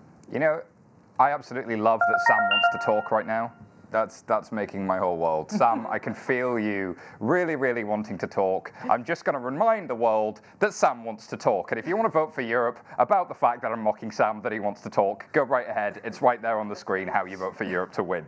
Um, so, uh, what are challenger banks doing? Well, I don't know if you've heard of Pockit or Monese, but actually they serve migrant workers who couldn't get bank accounts. And the problem with not being able to have a bank account when you migrate into a country is then you can't get a mobile phone contract, Oh. which often means you can't get a place to rent, which often means you can't get a mortgage or anything else that you need that's the basic essentials of living. So, what are they doing? They're making real differences to people's lives. They are having customer impact, and I do think they're serving underserved segments. I also think a lot of the challenger banks are competing on service because they don't have a high legacy cost. Uh, they don't have to pay for infrastructure and hundreds of thousands of people. They can actually have a different business model, and that's really powerful and expresses it in interesting ways. Rather than it being like a bad landlord, right? Rather than it being, I'm going to charge you and here's a fee and we're going to make money off your FX and we're going to hide all of these fees from you, which a lot of the incumbent banks still do, then challenger banks could be really transparent because they're making money because they have a low cost base. There's more space for headroom. There's more, more space for revenue and profit with a lower cost of operating. So they're also making a difference in terms of I didn't get surprised by the fact that I got charged. And they can do something else because they've got modern infrastructure. They can be real time, intelligent, and contextual. What do I mean by that? Well, I, a lot of banks don't know until the day after that money left my bank account and I may have gone overdrawn and I may have had a hidden fee. In fact, Simon Vans-Colina talked to that. Now imagine the impact to somebody's life of that. Imagine if that means I've not only have I gone overdrawn, but I've got a relationship where uh, I'm paying, living day to day, and there's too much month left at the end of the money. Now I find myself in a position where maybe I can't make rent, maybe I'm having bad life consequences, maybe I'm suffering from poor mental health as a result of not knowing where I am just because my bank has bad technology. And you'd be surprised how common that is. Two out of six people in the UK right now are suffering some form of concern about money. And they're really dealing with mental anguish from concern about money. So being proactive, being real time, being intelligent and contextual really makes a difference for customers. And that's what challengers are doing that old fashioned banks can't do. Oh, yeah. Thank you very much, Simon. So we're going to go back to Dan for the US's rebuttal. Simon. Oh, Simon, Simon, I love you.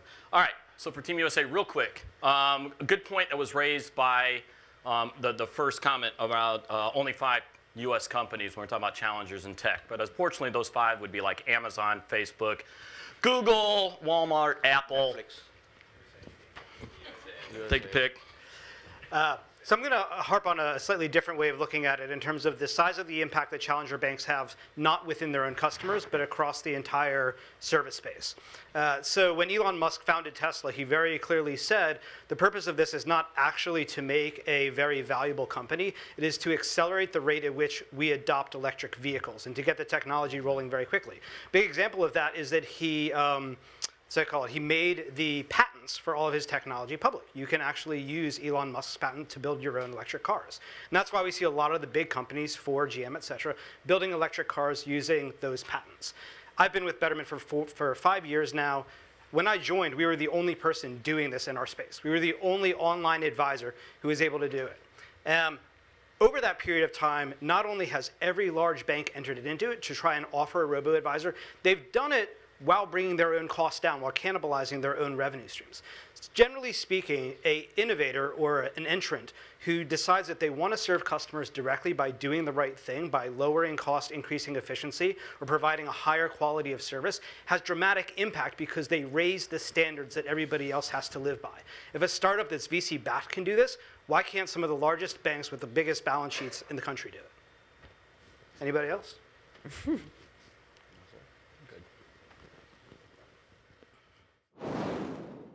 Thank, thank you for the um, team response there. That was a, a two-party two-party approach. Um, so to give us a little bit of a wrap-up on that round, we now have Elias. Sam, first, come on, you don't need to steal the space to try to put your hat in front. Show us your socks, I think it's much better for you. so, what do challenging banks do? They challenge banks. Let's look at all the banks that we have in Europe that are in the million of customers, half a million, a million. Monzo, N26, Klarna is way beyond, Starling banks, and so on and so forth. TransferWise, are all these banks or these challenging banks are making banks easier, are making banks more engaging, are creating the right experience. Clearly, traditional banks, the study in Europe, in France, that had shown that Bain and Company had shown that French banks have not got new customers since 2015. It doesn't mean there's no customers, but not going to traditional banks. They are going somewhere. These guys are banking. If you look also what's happening in France, you have Compte Nickel, who's now opening bank account outside of a bank. It's banks everywhere, but not in a branch. All that is about the changing bank. Great, thank you everyone. And now we're going to go back over to Jill, who's going to take us into round seven. Okay, first we must do a little business here. Round five, so the first hour of our debate, has now been decided. Round five goes to Europe. So they won three rounds. The Americas won two rounds. Got some business to do here, gang. Remember, you can vote via Twitter. Just uh, follow the directions on your screen and weigh in at hashtag WFTR18. We are now into round seven. Uh, fintech firms, obviously the big disruptors. And in the Capgemini LinkedIn FinTech report, these firms actually say their agility and ability to provide enhanced customer experience are their key competitive advantages. So, our question for round seven how can traditional financial institutions accelerate and improve their engagement with startups so that they can tap into these advantages? For the U.S. opening position, Jeff, take it away. Thanks, Jill. So I think the first question, um, and the mistake that I think often firms uh, of all, all sizes make is they, they sort of view the technology as pixie dust, and that somehow if they sprinkle it on their organization, that this, this wonderful thing uh, will, will occur. And you know, you can't get away from understanding what, what is your strategy, what's your competitive advantage, and how do you use technology to enable that. So at a small company like Morgan Stanley, uh, we, we think that our core value proposition is, is, our human, is our human financial advisors.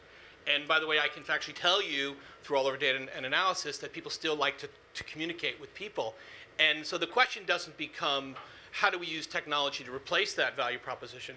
The question becomes how do we use technology to augment that relationship and really driving insights and scale so that human being can have more human conversations. And I will tell you that I'm the chief analytics officer. We use random forest equations to drive really innovative things. But I can tell you the single most powerful thing that a financial advisor can do today is uh, take someone to lunch or pick up the phone and call a client.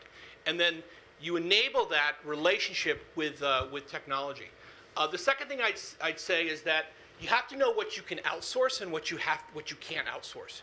You cannot outsource your data management uh, issues. You cannot outsource sort of defining what your value proposition is.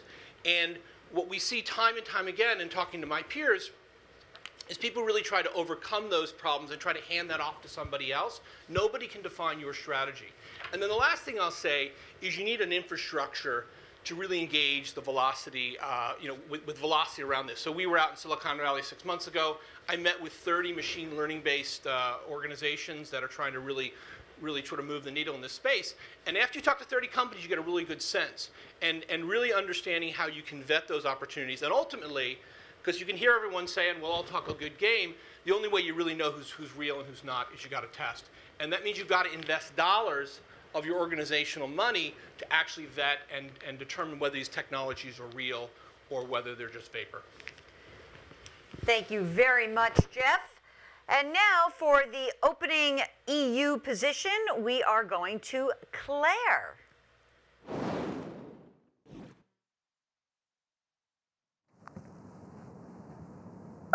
So the first point is really have a purpose uh, when you engage the startups. And for us, it was about partnering with Startupbootcamp FinTech, and Nektarios is going to do a rebuttal here.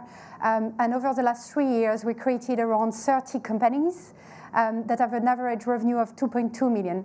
One of them is called WyoPay, and when they started in the accelerator, they were very early stage, way too early stage to engage a bank like Lloyds Banking Group. But you know what? We had coffee suppliers all around the country, and they were a way to pay at your fingertips and order your coffee, and then you just pick up the coffee and, by beat, and beating the queue. Um, they've been running in our coffee operation for like two years, and two years after, they've been approached by our main business as, oh, by the way, do you want to form part of our offering? And today they are part of the offering of Lloyds Banking Group. So the story goes, you know, by doing something that was quite disinterested at the beginning to just help a startup to progress and to just like, you know, make them, make the fintech ecosystem flourishing in the UK, to beef up and to finally be part of the ecosystem of Lloyds Banking Group. Um, the second part is really think, think big. Uh, you know, one of the things we did as well was launching our fintech mentoring activities, uh, which is like we pledge 100 of our top senior uh, MDs in Lloyds Banking Group, and we match them with startup. It's quite inorganic. We don't really have a purpose when we do that. Uh, we just hope this business grow and flourish because we just see this as an interest for the country about growing talent, about delivering it. So I think you know my main message is to really you know think around the purpose when you do this engagement, um, and and follow a bit like your heart when you do that, and not just the economic reality about it. Um, but let's elevate the debate a little bit because I think you know we're talking about startups and this nimble startup, and surely you know incumbents as startup have things to share about the culture, about our ways of working, and about the expertise banks have you know in terms of regulation and you know customer experience. Um, but I think you know one of the environments we don't talk about is the BAFAs and the GATS. So how do we engage you know this technology company that are currently serving the customer? And I was in China recently, and I really think there is something that we need to tap into it. And I will expand that and say like the party just get bigger. Why are we just talking about fintech and incumbent? You know why are we not talking about every part of the chain that is there. Why are we not talking about the government, about the regulator, about the fintech, about the startup, about the VCs? And this is what we've done in the UK by putting them all together around the table, around the UK fintech panel, and say, okay, guys, how do we Okay, that is a lot to swallow for uh, the opening positions. Uh, if you would like to vote, just follow the instructions at the bottom of the screen. Hop onto Twitter Vote for either the Americans or the Europeans, or you can wait for the rebuttals. Um, and um, delivering our rebuttal for the Americas is Jane. So I'm very fortunate to represent the voice of the founder. And I know there's a bunch of founders in the room. And often these conversations about how to, how do fintechs collaborate with financial institutions, it's 90% financial institution and 10% fintech. And guess what? Like, it's not a big secret, but for founders and for fintechs, time is money. When you have a two-year buying cycle, that's not good for me. It's really, really not. And so I was very heartened to see the Capgemini announcement today about the certification program. So less so startups, more so scale-ups being certified around, you know, are they real businesses? Are they ready to engage? All of this is awesome. What I would love to see is a similar process on the other side. And Capgemini, you can give me some rev share for this idea because it's really good. Um, so, is your institution actually ready to engage? And like the questions that at the C-suite are answered very easily. Once you get into the weeds of the operators, it gets very messy. So, you know, is there room in the roadmap for this? Can be answered by everybody. And generally the answer is no, but it's something we're interested in next year guess what? Doesn't really help me because next year can come around and then it gets pushed to the next year. Mm. Is there money for Jane? Like, that's kind of important. Again, the answer is often no, but it's a huge priority for us. It's like, okay, so where is this really? Um, the third really big thing is, you know, what is your process? And often you focus on the pointy end of the process for startups. It's the innovation teams. It's maybe product, maybe C-suite, maybe customer experience. Our time is actually spent with your risk, compliance, marketing, legal, PR teams, and that can take, you know, three weeks to get a meeting set up.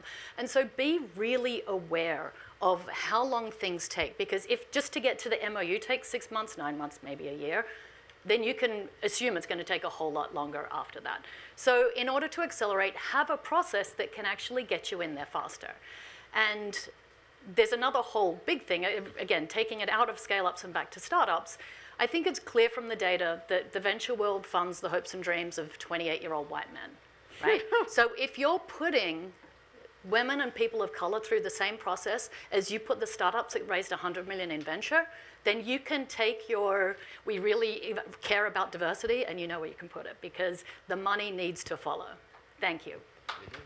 Woo! Time's up. Okay, uh, thank you very much. That was brilliant. Uh, for the European rebuttal, Nektarios.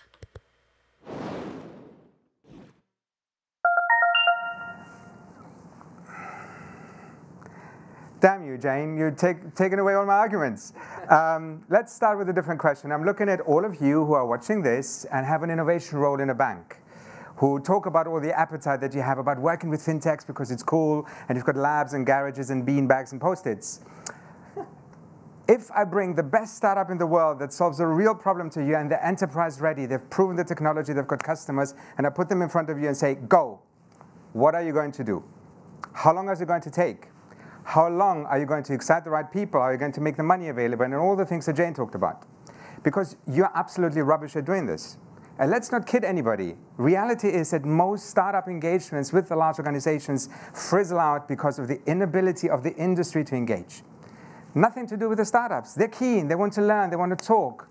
None of the founders we talk to want to bypass the industry or bypass regulation. They want to have a fair chance in this.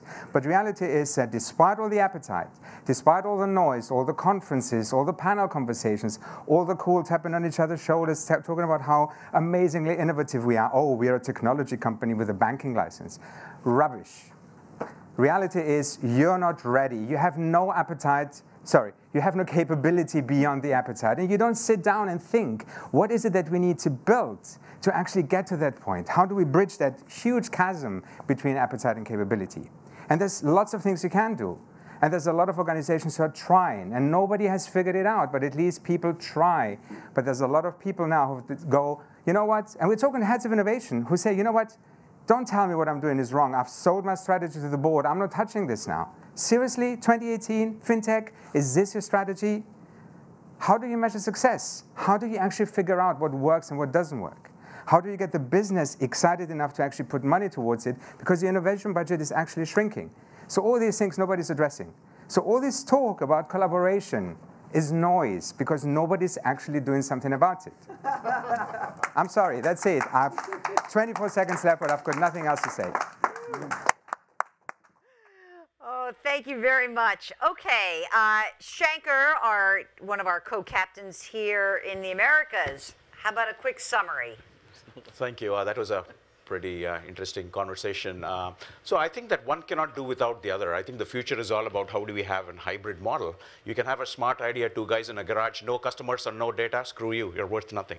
So you need the banks to take their customers and data and make something out of it. And also I've heard these banks are departing forever. Actually, when I saw this morning, they're better capitalized and stronger than two decades ago.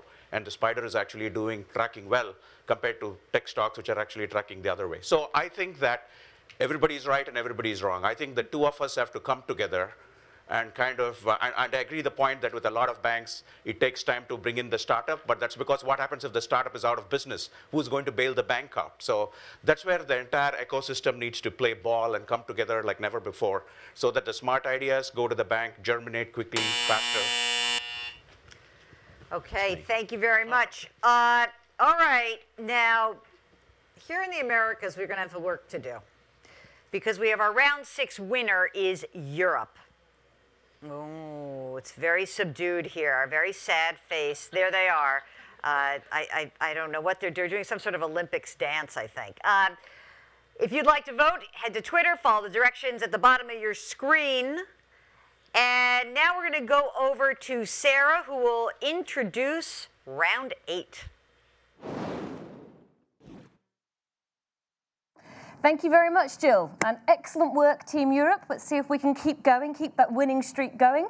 So we're going to move on to round eight now. Um, we all know that one of the most important elements for the success of any innovation project is a supportive culture. And that's even more key when multiple parties are involved. So our eighth question will dig into this subject matter.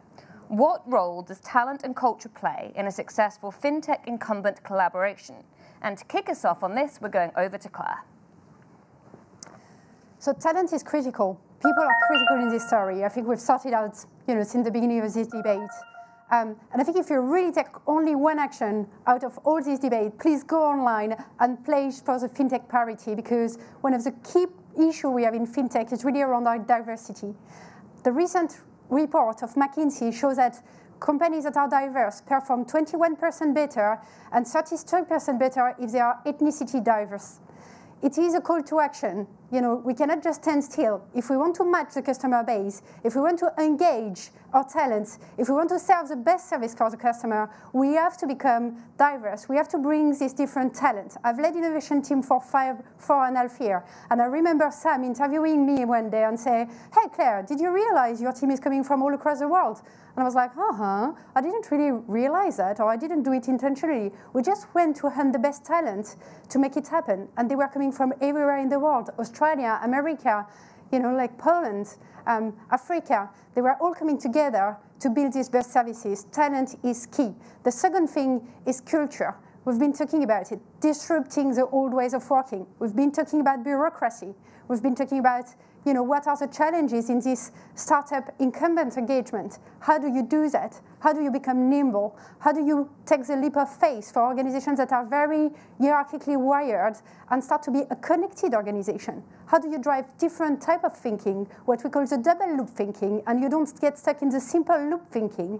How do you go, don't just go after incremental, but you actually motivate your people to achieve the best outcome for the customer and to come with the, the, the best solution? And how do you enable your organization to, to do that through and through? It is a tough challenge. There is no silver bullet about it. I've been asked for the last five years, you know, what is a magic recipe? There is none of it. You will have to put all your effort in order to, to, to do that. We've built academies, we've built culture and transformation programs. We just have to keep pushing all together to make it better. Thank you very much, Claire. Now we're going to go over to Zach in the US for their opening position.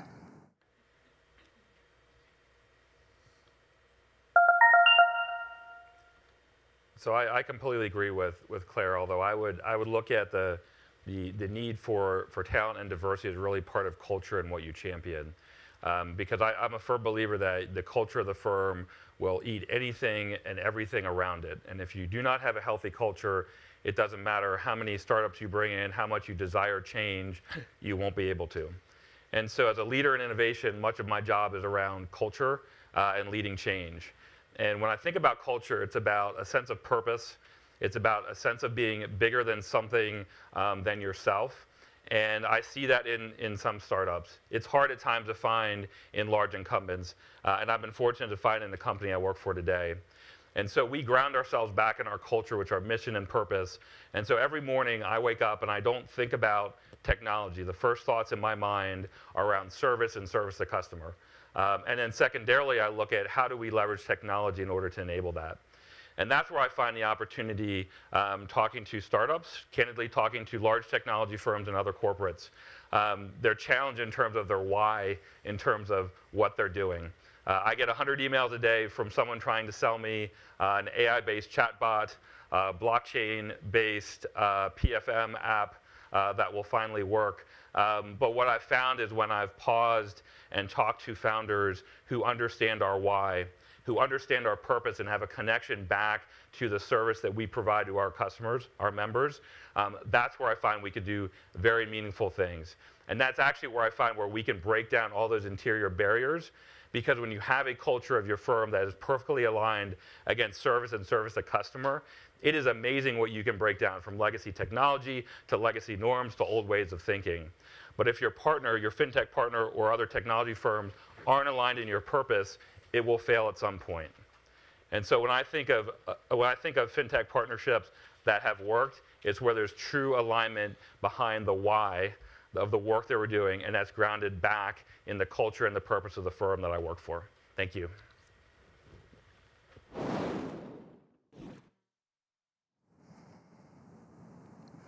Thank you very much, Zach. So in summary there we have that diversity is absolutely key, but so is ensuring a cultural synergy. Um, just to remind you that you can and should be voting, especially if you're voting for Team Europe. Um, and whilst you're thinking about that, we're going to move over to Nektarios, who's going to give us the rebuttal from the EU team. So why are people shy of actually talking about some of the other things? Um, none of the shareholders in a bank care about innovation or culture change. Uh, innovation is a tick box, and most people act on that. Because if you start really meaning what you want to do, you need to change incentives in the people to actually do innovation. And trust me, nobody in the business has real incentives to actually do something that will affect change. One thing. The other one is that we're in an industry, and I come from the industry, where research and development is not something we do. So innovation doesn't fit anywhere because ultimately we're in, a, in an environment where we need to enable and establish a mindset of experimentation. Experimentation is not going to lead to ROI instantly, and we already have a problem there because people are only incentivized by cost savings or ROI. So structurally, the whole governance of a bank, and take pretty much any bank in the world, doesn't work. It's not built to actually encourage and effect culture change. Uh, the majority of the business that we do is working with large organizations. So we actually have relationships with about 250 uh, blue chip companies around the world. So we talk to these people. We actually have got access to C-suite. And guess what? We have got one case where the CEO, the CFO, and the CTO signed off of an engagement, and then he got stuck in the permafrost of senior management who have absolutely no appetite. And guess what? When it comes to the 2% of whatever is part of the innovation remit and the kind of conflicts with other priorities, the first thing to fall off the table is change. So this is not going to work. It's not set up to work. So the companies that really mean it, they're also looking to change some of the very fundamentals where they increase the visibility of their activities and not just to tick a box. So for me, the big question is culture change is important and culture is important and we can do all these beautiful things that excite the population within the bank. But guess what? At some point, it gets stuck somewhere because you have no avenue to actually grow it. If you follow the big leaders on innovation who used to talk about technology and, and fintech and all the other things, and nowadays they talk about organizational change, which is the only thing that can actually allow this industry to evolve. But at the moment, I'm very pessimistic. End of my contribution. Ooh. Thank you, Nektarios. Some fighting talk there, I think, perhaps. Um, so now we're going to head over to Kathryn in the US for her rebuttal.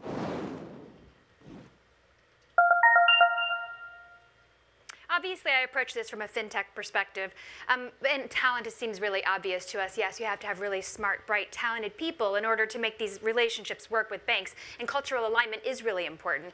And from our perspective and in our experience, um, when the relationships work really well, it's because inside the bank, the the initiative is being led from the top. So we saw Ralph Hamers earlier, I believe, during the break, talking about what, what's important to ING. We partner with ING, and we know for a fact that he's out there talking to people and getting people excited and engaging in the culture and creating um, a culture where people can take risks. But culture, I think many people think is all about ping pong and beer. Like Nectario said earlier, I've been through many, many innovation labs at banks, and right in the middle is a ping pong table, and then they are excited to walk you over to the beer cooler where there's four bottles of beer, you know, stuck in the cooler. But it's really not about that. It's really about innovation, I think, and risk taking. And, I, and so what banks are attracted to with fintechs is our ability to innovate um, and to take risks, which, which we do because we adhere to some guiding principles. Um, in our case, we actually walked away from a big bank partner because we were going to have to, um, to walk away from our guiding principles in order to make that relationship work, and it wasn't worth it to us. I think the second thing culturally that's really important about working with a large institution from a fintech's perspective is to have a culture of compliance. So I don't know if you all remember the Mother's Day Massacre, which is a couple of years ago, and all the um, details of some of the issues around Lending Club came out. The problem with what happened there was that it impacted the entire fintech space because suddenly, whether it was the capital markets or what was the bank partners or whether it was the investors, everybody was worried that suddenly fintechs didn't understand compliance. And I know that um, Clara mentioned earlier, as did Suresh, that compliance is a really important aspect. So the culture of compliance means that you understand how to approach compliance with a bank partner. There are two types of compliance. There's regulatory compliance and there's process compliance. Regulatory compliance is just something you have to do. Whether it's AML or KYC or whether it's disclosures to your customers, you just have to do it. Process compliance is really the problem. It's where there's a whole room full of people who say, oh, you have to check this box every time you do a thing. And if you don't check the box, then there's going to be trouble. Well, why do you have to check the box? Well, because some dude 70 years ago decided we had to check the box, and that's just why we do it. So it's really important culturally to push back against that type of process compliance to make sure that you can actually achieve everybody's objectives.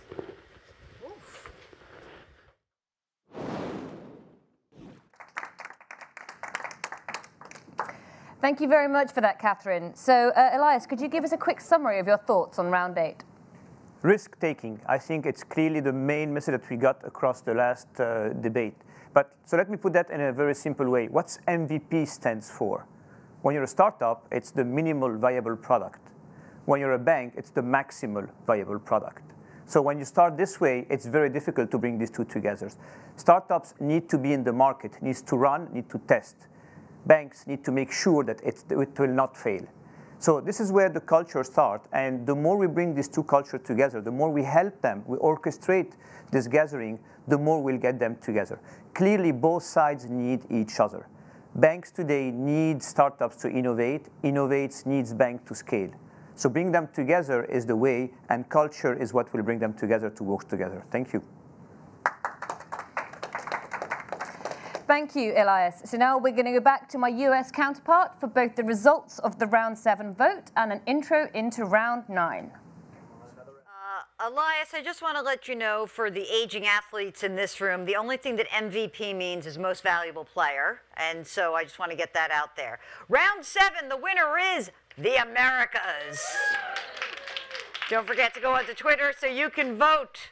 Use the hashtags at the bottom of your screen and weigh in on the conversation. Hashtag WFTR18. We are coming into round nine, two rounds remaining. This is exciting. Rapid change in technology challenges upstarts and established firms alike. Boundaries between companies and industries are becoming blurred. And so our question for round nine is this. Who will be the long-term winner as banking evolves to a marketplace model? Incumbents, fintechs, or big tech? And as a follow-up, we, as we consider big tech's strong relationship with consumers and efficiency in creating frictionless tech transactions, are Google, Apple, Facebook, Amazon, GAFA, a threat or a partner or enabler? Now, uh, we just happen to have a Facebook pro, a woman who actually wrote a book about Facebook on our panel and putting out the opening statement for the Americas, Clara Shih.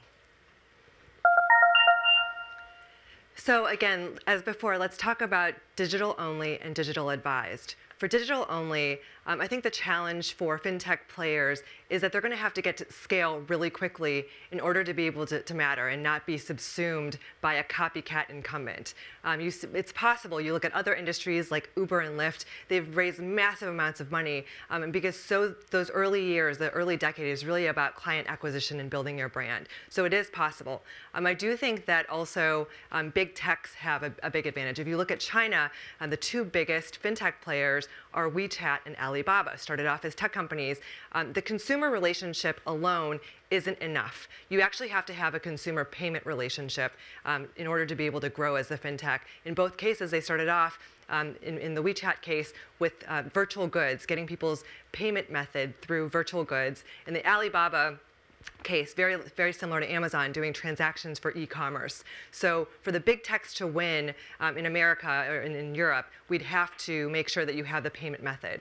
Now let's talk about digital advised um, for a moment. So digital advised, I think no one today really would be really difficult for any upstart today to be able to raise the capital and justify building 5,000 branch locations, hiring 20,000 human advisors. And so I think here the incumbents will have a real advantage in terms of they already have that infrastructure in place. Their challenge will be getting to profitability and, and improving uh, productivity as margin um, pressures continue to increase. And I think that, that, that it's possible, but there, we should expect to see over time industry consolidation. Um, in general, for both digital only as well as digital advised, given the nature of technology, the economies of scale required to, um, to build a marketplace, two-sided marketplace, multi-sided marketplace, as well as the, the network effects inherent in anything technology, we'll, see, we'll start to see a, um, overall convergence because technology is generally winner takes all. That's why there's only Uber and Lyft very few number of players in that space. That's why there's only Amazon, Facebook. There's only one Amazon, one Facebook, one Google. We should expect to see the same thing in financial services. Thank you. Okay, uh, and for the Europeans opening position, we are going to Richard.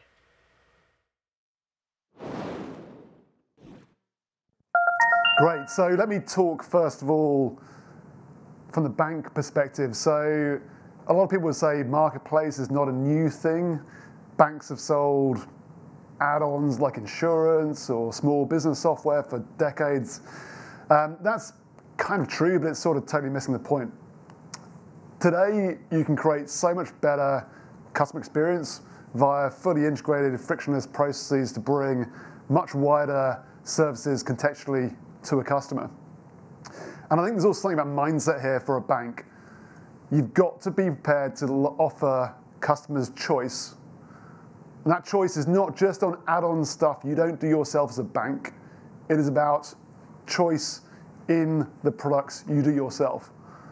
Let's talk about Amazon for a second. Amazon does this with Amazon Marketplace. Amazon has its own products on Amazon and it offers third-party products. And it provides you an easy comparison of the two. That provides better customer experience, provides customer trust, and it also provides great data for Amazon to improve their own product set. But actually, this isn't really that much about banks, this question. The question is about really, is GAFA going to take over financial services? And I guess, to my mind, the question is just wrong. We've talked about China a fair bit. We should to kind of talk about China a lot more because this is not about Google, Amazon, Facebook.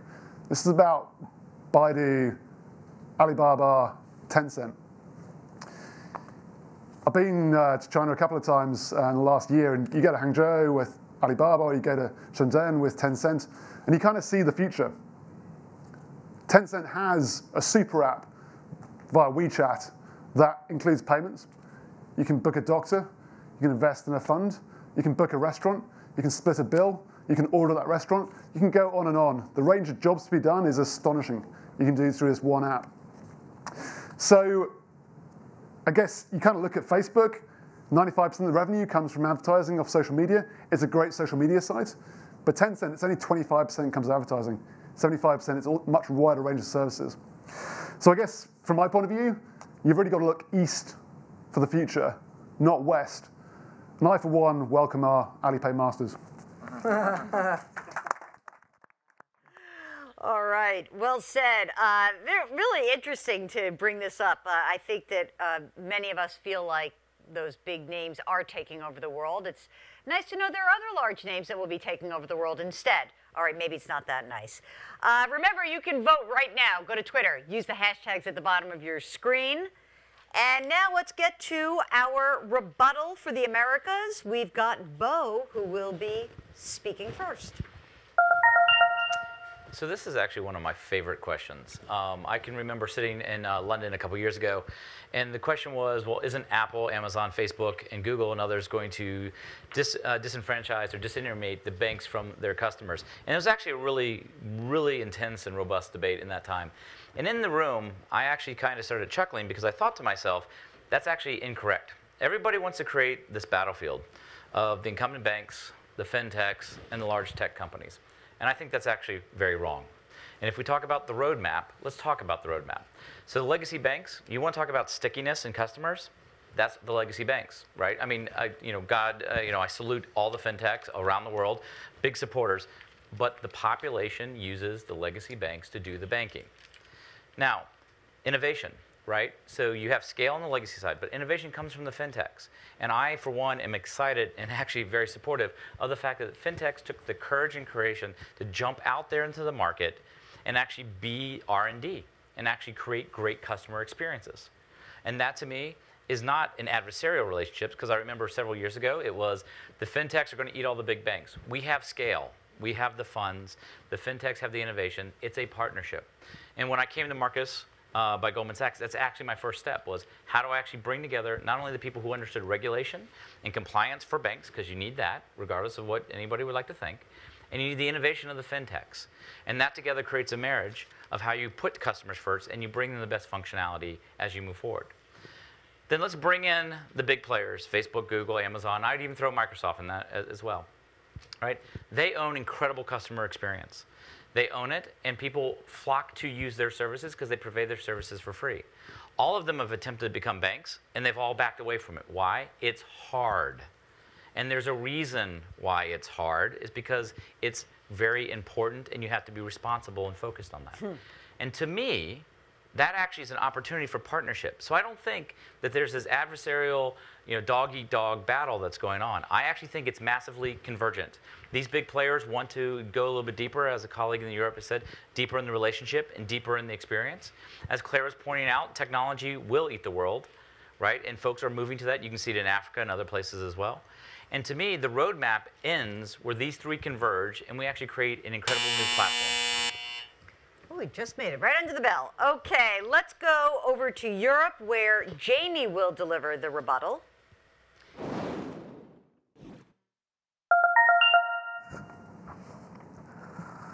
Well, let me tell you about that incredible new platform. Um, so, two and a half years ago, we started Bud because we noticed uh, one big thing, which was fintech was on the rise and people were getting better experiences in each of these new product verticals. You had TransferWise making uh, remittance much better and a much better experience and for better rates. You had Nutmegs and other robo-advisors who were making uh, investment easier for, for customers. Uh, and across the board, you had all these new companies uh, you know, who were developing these new products and services in their own individual vertical. But customers don't really want to go and get another app for one thing and multiple different apps for all these different services. The mass customer is used to going to one place for all of their financial services, their bank. So Bud was created as a way of combining all of these new product innovations across the fintech space, integrating those services into our platform, and making that platform available to banks so that they can distribute these new amazing products to their customers. I think when you look at something like this, this model, which we call marketplace banking here in, in, in the UK, really, it's Europe and UK who are pioneering these new methodologies and, and getting these new uh, products to market in a, in a new way. You have challenger banks like Monzo and N26 who have already kind of put their flag in the ground saying that they're going to be doing marketplace models. And really it's borrowing from the experience of the likes of Amazon and, uh, and even travel companies like Expedia. Look at the way that they revolutionized those, uh, those markets by bringing all of these services together in a new way, making customers incredibly aware of all the services that were available to them, giving them choice and that choice gives them power and it gives them information that they can uh, take and inform their lives and have better experiences at, at, the outcome. I think when you really look at the heart of you know, who is going to kind of swoop into financial services and, uh, and, and, and take the crown, really I, can't, I don't think you can look at uh, the Facebooks and the Amazons because when you, you know, look deep down in these companies, where do they keep their money? In a bank. You know, it's not going to change. And I think by partnering with platform uh, companies such as ourselves, banks will start to have a new ticket to the game, uh, which will allow them to be innovative, uh, will allow them to be agile, and serve their customers in a brand new way. Okay, uh, they keep their money in a bank, usually an offshore one, at least for the time being. Uh, okay, Sam, how about articulating a little recap for us? So the question is, who will be the long-term winner as banking evolves to marketplace models, incumbents, fintechs, or big techs? I don't care. Um, wow. The customer. I mean, seriously, the, the customer. Everybody's going to win. The, but at the end of the day, the customer should win. We're seeing this in China, right? A whole um, uh, uh, a group actually now being raised up, right? They're middle class emerging. Um, we've seen this in Africa with M-Pesa.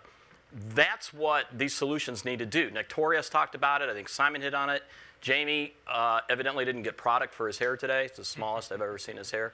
Um, but that's who needs to win at the end of the day, providing these services to the masses. Thank you very much. Okay, we have a very curious event here.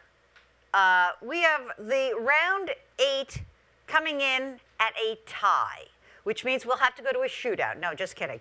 Uh, all right, so um, no shootout. We will enter now into our final round. Uh, remember, if you'd like to vote right now, you can do so. Just follow the instructions at the bottom of your screen. Go to Twitter, figure out whether it's the Americas or Europe. Final round, Sarah, take us to the end. Well, this is getting exciting. It sounds like everything is left to play for on both sides, so let's get into our grand finale. Today's final question pits the Europeans and the North Americans against each other once more. We all know that regulation is integral to the financial service industry's development and indeed its evolution. But which approach is more effective? A European style top down regulatory approach or a US style market driven one? So we're going to start with Jamie. Over to you for the European team's opening position. So regulation, it is the uh, rules that everyone in this industry has to play by. And I think when you uh, look at things like sports, rules are there to kind of stop it all disintegrating into absolute chaos. Um, but what regulation also does is it creates high walls around this kind of sacred garden that is financial services.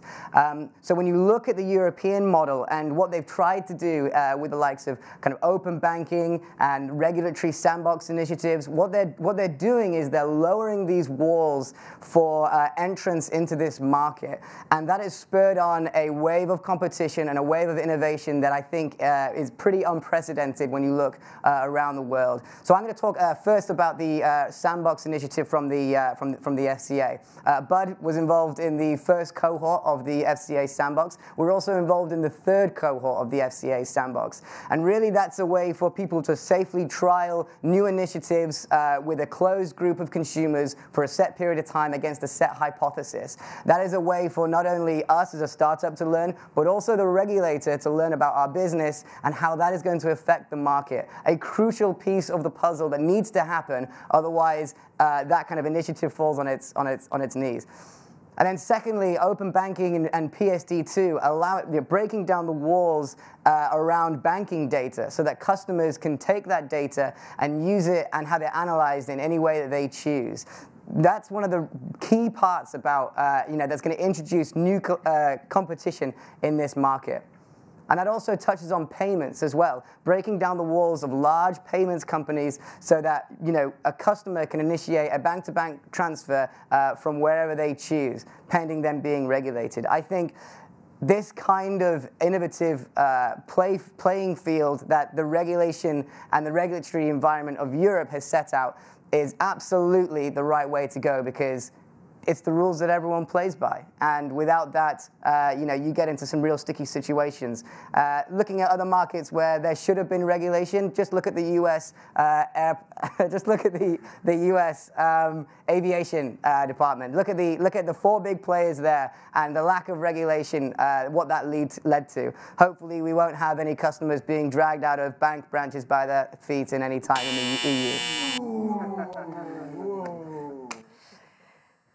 Some fighting talk there to finish on. Thank you very much, Jamie. So, Kathryn, over to you for the US's opening position. I do hope that our voters don't confuse what I'm about to say with a vote for Team Europe. But it seems pretty hard to argue that the U.S. market-based regulatory regime is as effective as the European-based model. Um, so I'm not here to argue on behalf of the Americans, but I am here to um, suggest that the reason that that model works is because it really involves a very strong focus on the customer experience and on customer rights, customer ownership of data, and that's very, very important. Um, I think the difference is in the U.S., um, regulators and policymakers and lawmakers believe that the customer is the business, is the financial institution, is the bank, whereas the European model assumes that the customer is actually the consumer. And that's a really important distinction. Um, I, I, I, spend a lot of time in DC, and I spent some time um, talking with someone, um, a, a policymaker, about FCRA, the Fair Credit Reporting Act, which is really archaic and arcane and has been revised a couple of times, but doesn't take into, into, into account any of the new data and tools and technology that could be brought to bear for the lending process and for making a credit evaluation. For example, social data that could be used to help provide more access to capital, more access to credit for the underserved and the underbanked and the new to the market. So um, I think that's the difference between a principles-based um, regulatory regime, which is what Simon mentioned earlier, and the market-driven model. So the market-driven model in the U.S. also hasn't driven any um, advancements on the regulatory framework for non-bank financial institutions. So appropriate regulation is really important. Um, we make loans loans to small businesses. I don't transfer money. I don't um, take deposits. I don't make investments for my customers. So it's really important that we figure out how to regulate appropriately for exactly what a company is doing and not burden them with a bunch of cumbersome regulations that aren't even applicable. And I think that's what's been slowing us down. So again, I think it's really important to embrace the model that the Europeans have taken with PSD2 and GDPR, um, focusing on the customer experiencing, focus fo on the customer experience, focusing on their access to data, and realizing that they're really the ones who are driving the market.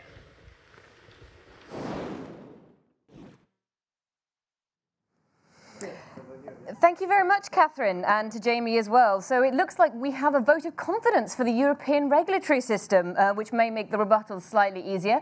Uh, before we get to that, I just want to remind the audience that time is running out to vote, so please head over to Twitter and make sure you do that. Uh, Simon, would you like to give a rebuttal? I, I, feel like you have a relatively easy starting point there. So since we've already uh, agreed that um, the European um, system of regulation is preferable to an open market, I'll just I'll add a few things. I think regulation um, can not just regulate markets, but it can create new markets. The um, Open Banking Initiative here um, was driven by PSD2, a piece of legislation that applies to all banks. But the Competition and Markets Authority here in the UK decided to really get ahead of that and um, make the largest nine banks sort of um, do all of the work up front. They made them basically create APIs or conform to an API standard um, before they were even required to. And that wasn't to sort of like suppress competition. It wasn't to, to limit the free market. It was to basically make all of the customers' data available to the customers. It was to sort of raise the amount of customer data that was available so that fintech companies like Bud and, and others that want to build things on top of that data could have the assurance that that, that data was going to be there, right? So the, the point of that regulation was not to, to control a free market, it was to create a new market. And the other thing I would say about, especially London, is uh, in the US you have all of the tech in San Francisco and all the regulators in, in DC and all of the money in, in New York. It's 1,400 meters from Silicon Roundabout, which is the spiritual center of tech in the UK, to the Bank of England. That's about 0.9 miles. Uh, so beat that. Thank you very much, Simon. And so we are heading back to Jeff for the final rebuttal of today's event. So I think um, you know what happens in the regulatory world is, a, is an interesting conversation, but candidly, most of us in this room have absolutely zero impact on what the regulators do or don't do. So I think the more interesting question is how do you use both the regulatory regimes that are out there and how do you use sort of this free market approach to actually get people excited. And the truth is, neither actually get people excited. Um, for the average financial advisor, they don't even know who the OCC is um, or the SEC, and they just see that as sort of a, a, a, way that, that gets in the way of them doing business. And also, if you try to sell these things as this big innovation play, most people don't care about that either. I mean, the people on this call on this webcast probably are innovation focused and we're like, we need to innovate, we innovate. Nobody cares about that either. And I would just go back to um, really a theme that I think is, has sort of played out here through, through the whole conversation is going back to what the client wants, knowing what your competitive advantages as an organization to drive that and solve real problems. Right? I guess I'm going to bookend this by saying all of this is interesting unless it speeds a client experience, drives a better investment outcome for a client, creates alpha. If you are not doing those things, you are failing. And by the way, sometimes you do those things, it has nothing to do with technology. It may have to do with business processes. It may have to do with better training of your employees. It may be communicating your goals and objectives more clearly. And I guess I would end by saying, let's not forget that those things still matter. Leadership still matters. Cooperation still matters. And for all the conversation about fintech, I still believe that our success and failure rest on those fundamental capabilities. Thank you. Nice. Thank you very much, Jeff. And now over to Simon, the other Simon, for our final summary of the day.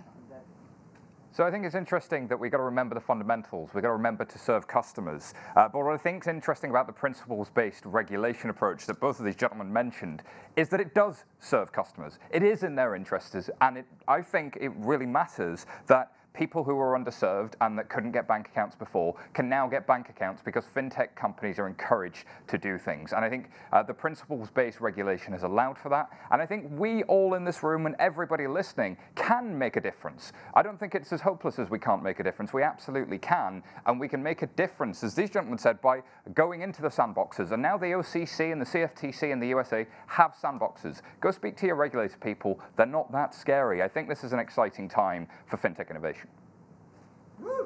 Thank you very much, Simon.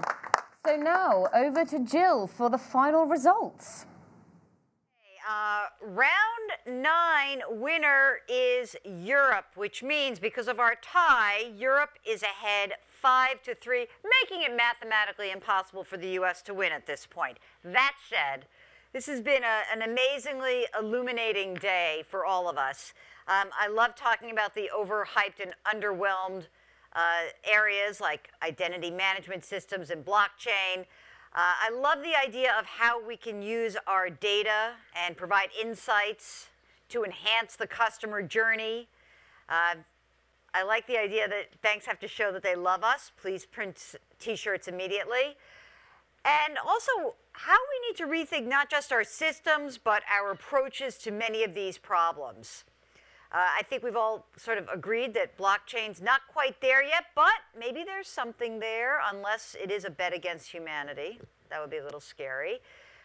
Where is the customer service being delivered? I think it's Euro Europe, US, China, Africa, fintechs, established institutions, startups, maybe even those big tech companies.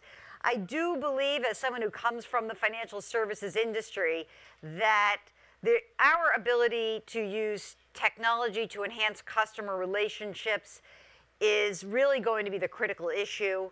Um, I like the, the, the sense of the collaboration between the established firms and fintechs really will rely on a diversity of talent, of diversity of thought, geographic diversity, um, and that your culture is not just words at the top, but filters through your entire organization. Uh, as we kind of look ahead, uh, uh, that, that conversation around big tech and looking east versus west really opened my eyes in many ways. Regulation is always a, a little bit of a ginger topic for any of us. Uh, I, I, have always been much more impressed by the rules-based versus the principles-based. Um, but specifically, the customer is clearly in the limelight here.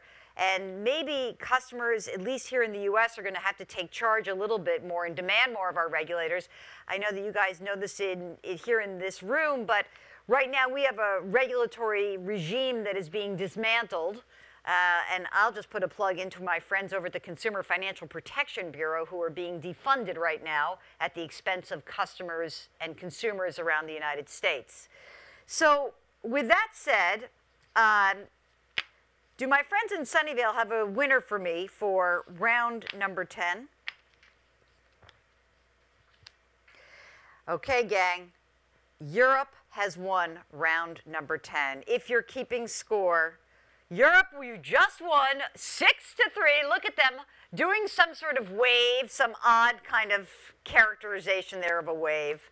Uh, before we go, uh, I, I, do want to thank a bunch of people who made this possible. Uh, first of all, uh, the, the folks here at LinkedIn and at Capgemini and 11FS have put on an amazing event. Uh, Jennifer Grazel's team at LinkedIn, Jan, Chris Caspian, amazing, Capgemini, Bill, the team with Chirag, Aaron, Ken, 11FS, Sam, Simon, Ollie, um, I would be remiss if I did not shout out our technology team here in New York. Uh, we've got Dan leading the way, David, Sean, Paul, Tim, Tommy, David, Brian, our cameraman, Ed, Jeff, Ramon, and in Sunnyvale and in London, Ramiro, Gary, Joshua, Tersh. Whew, okay.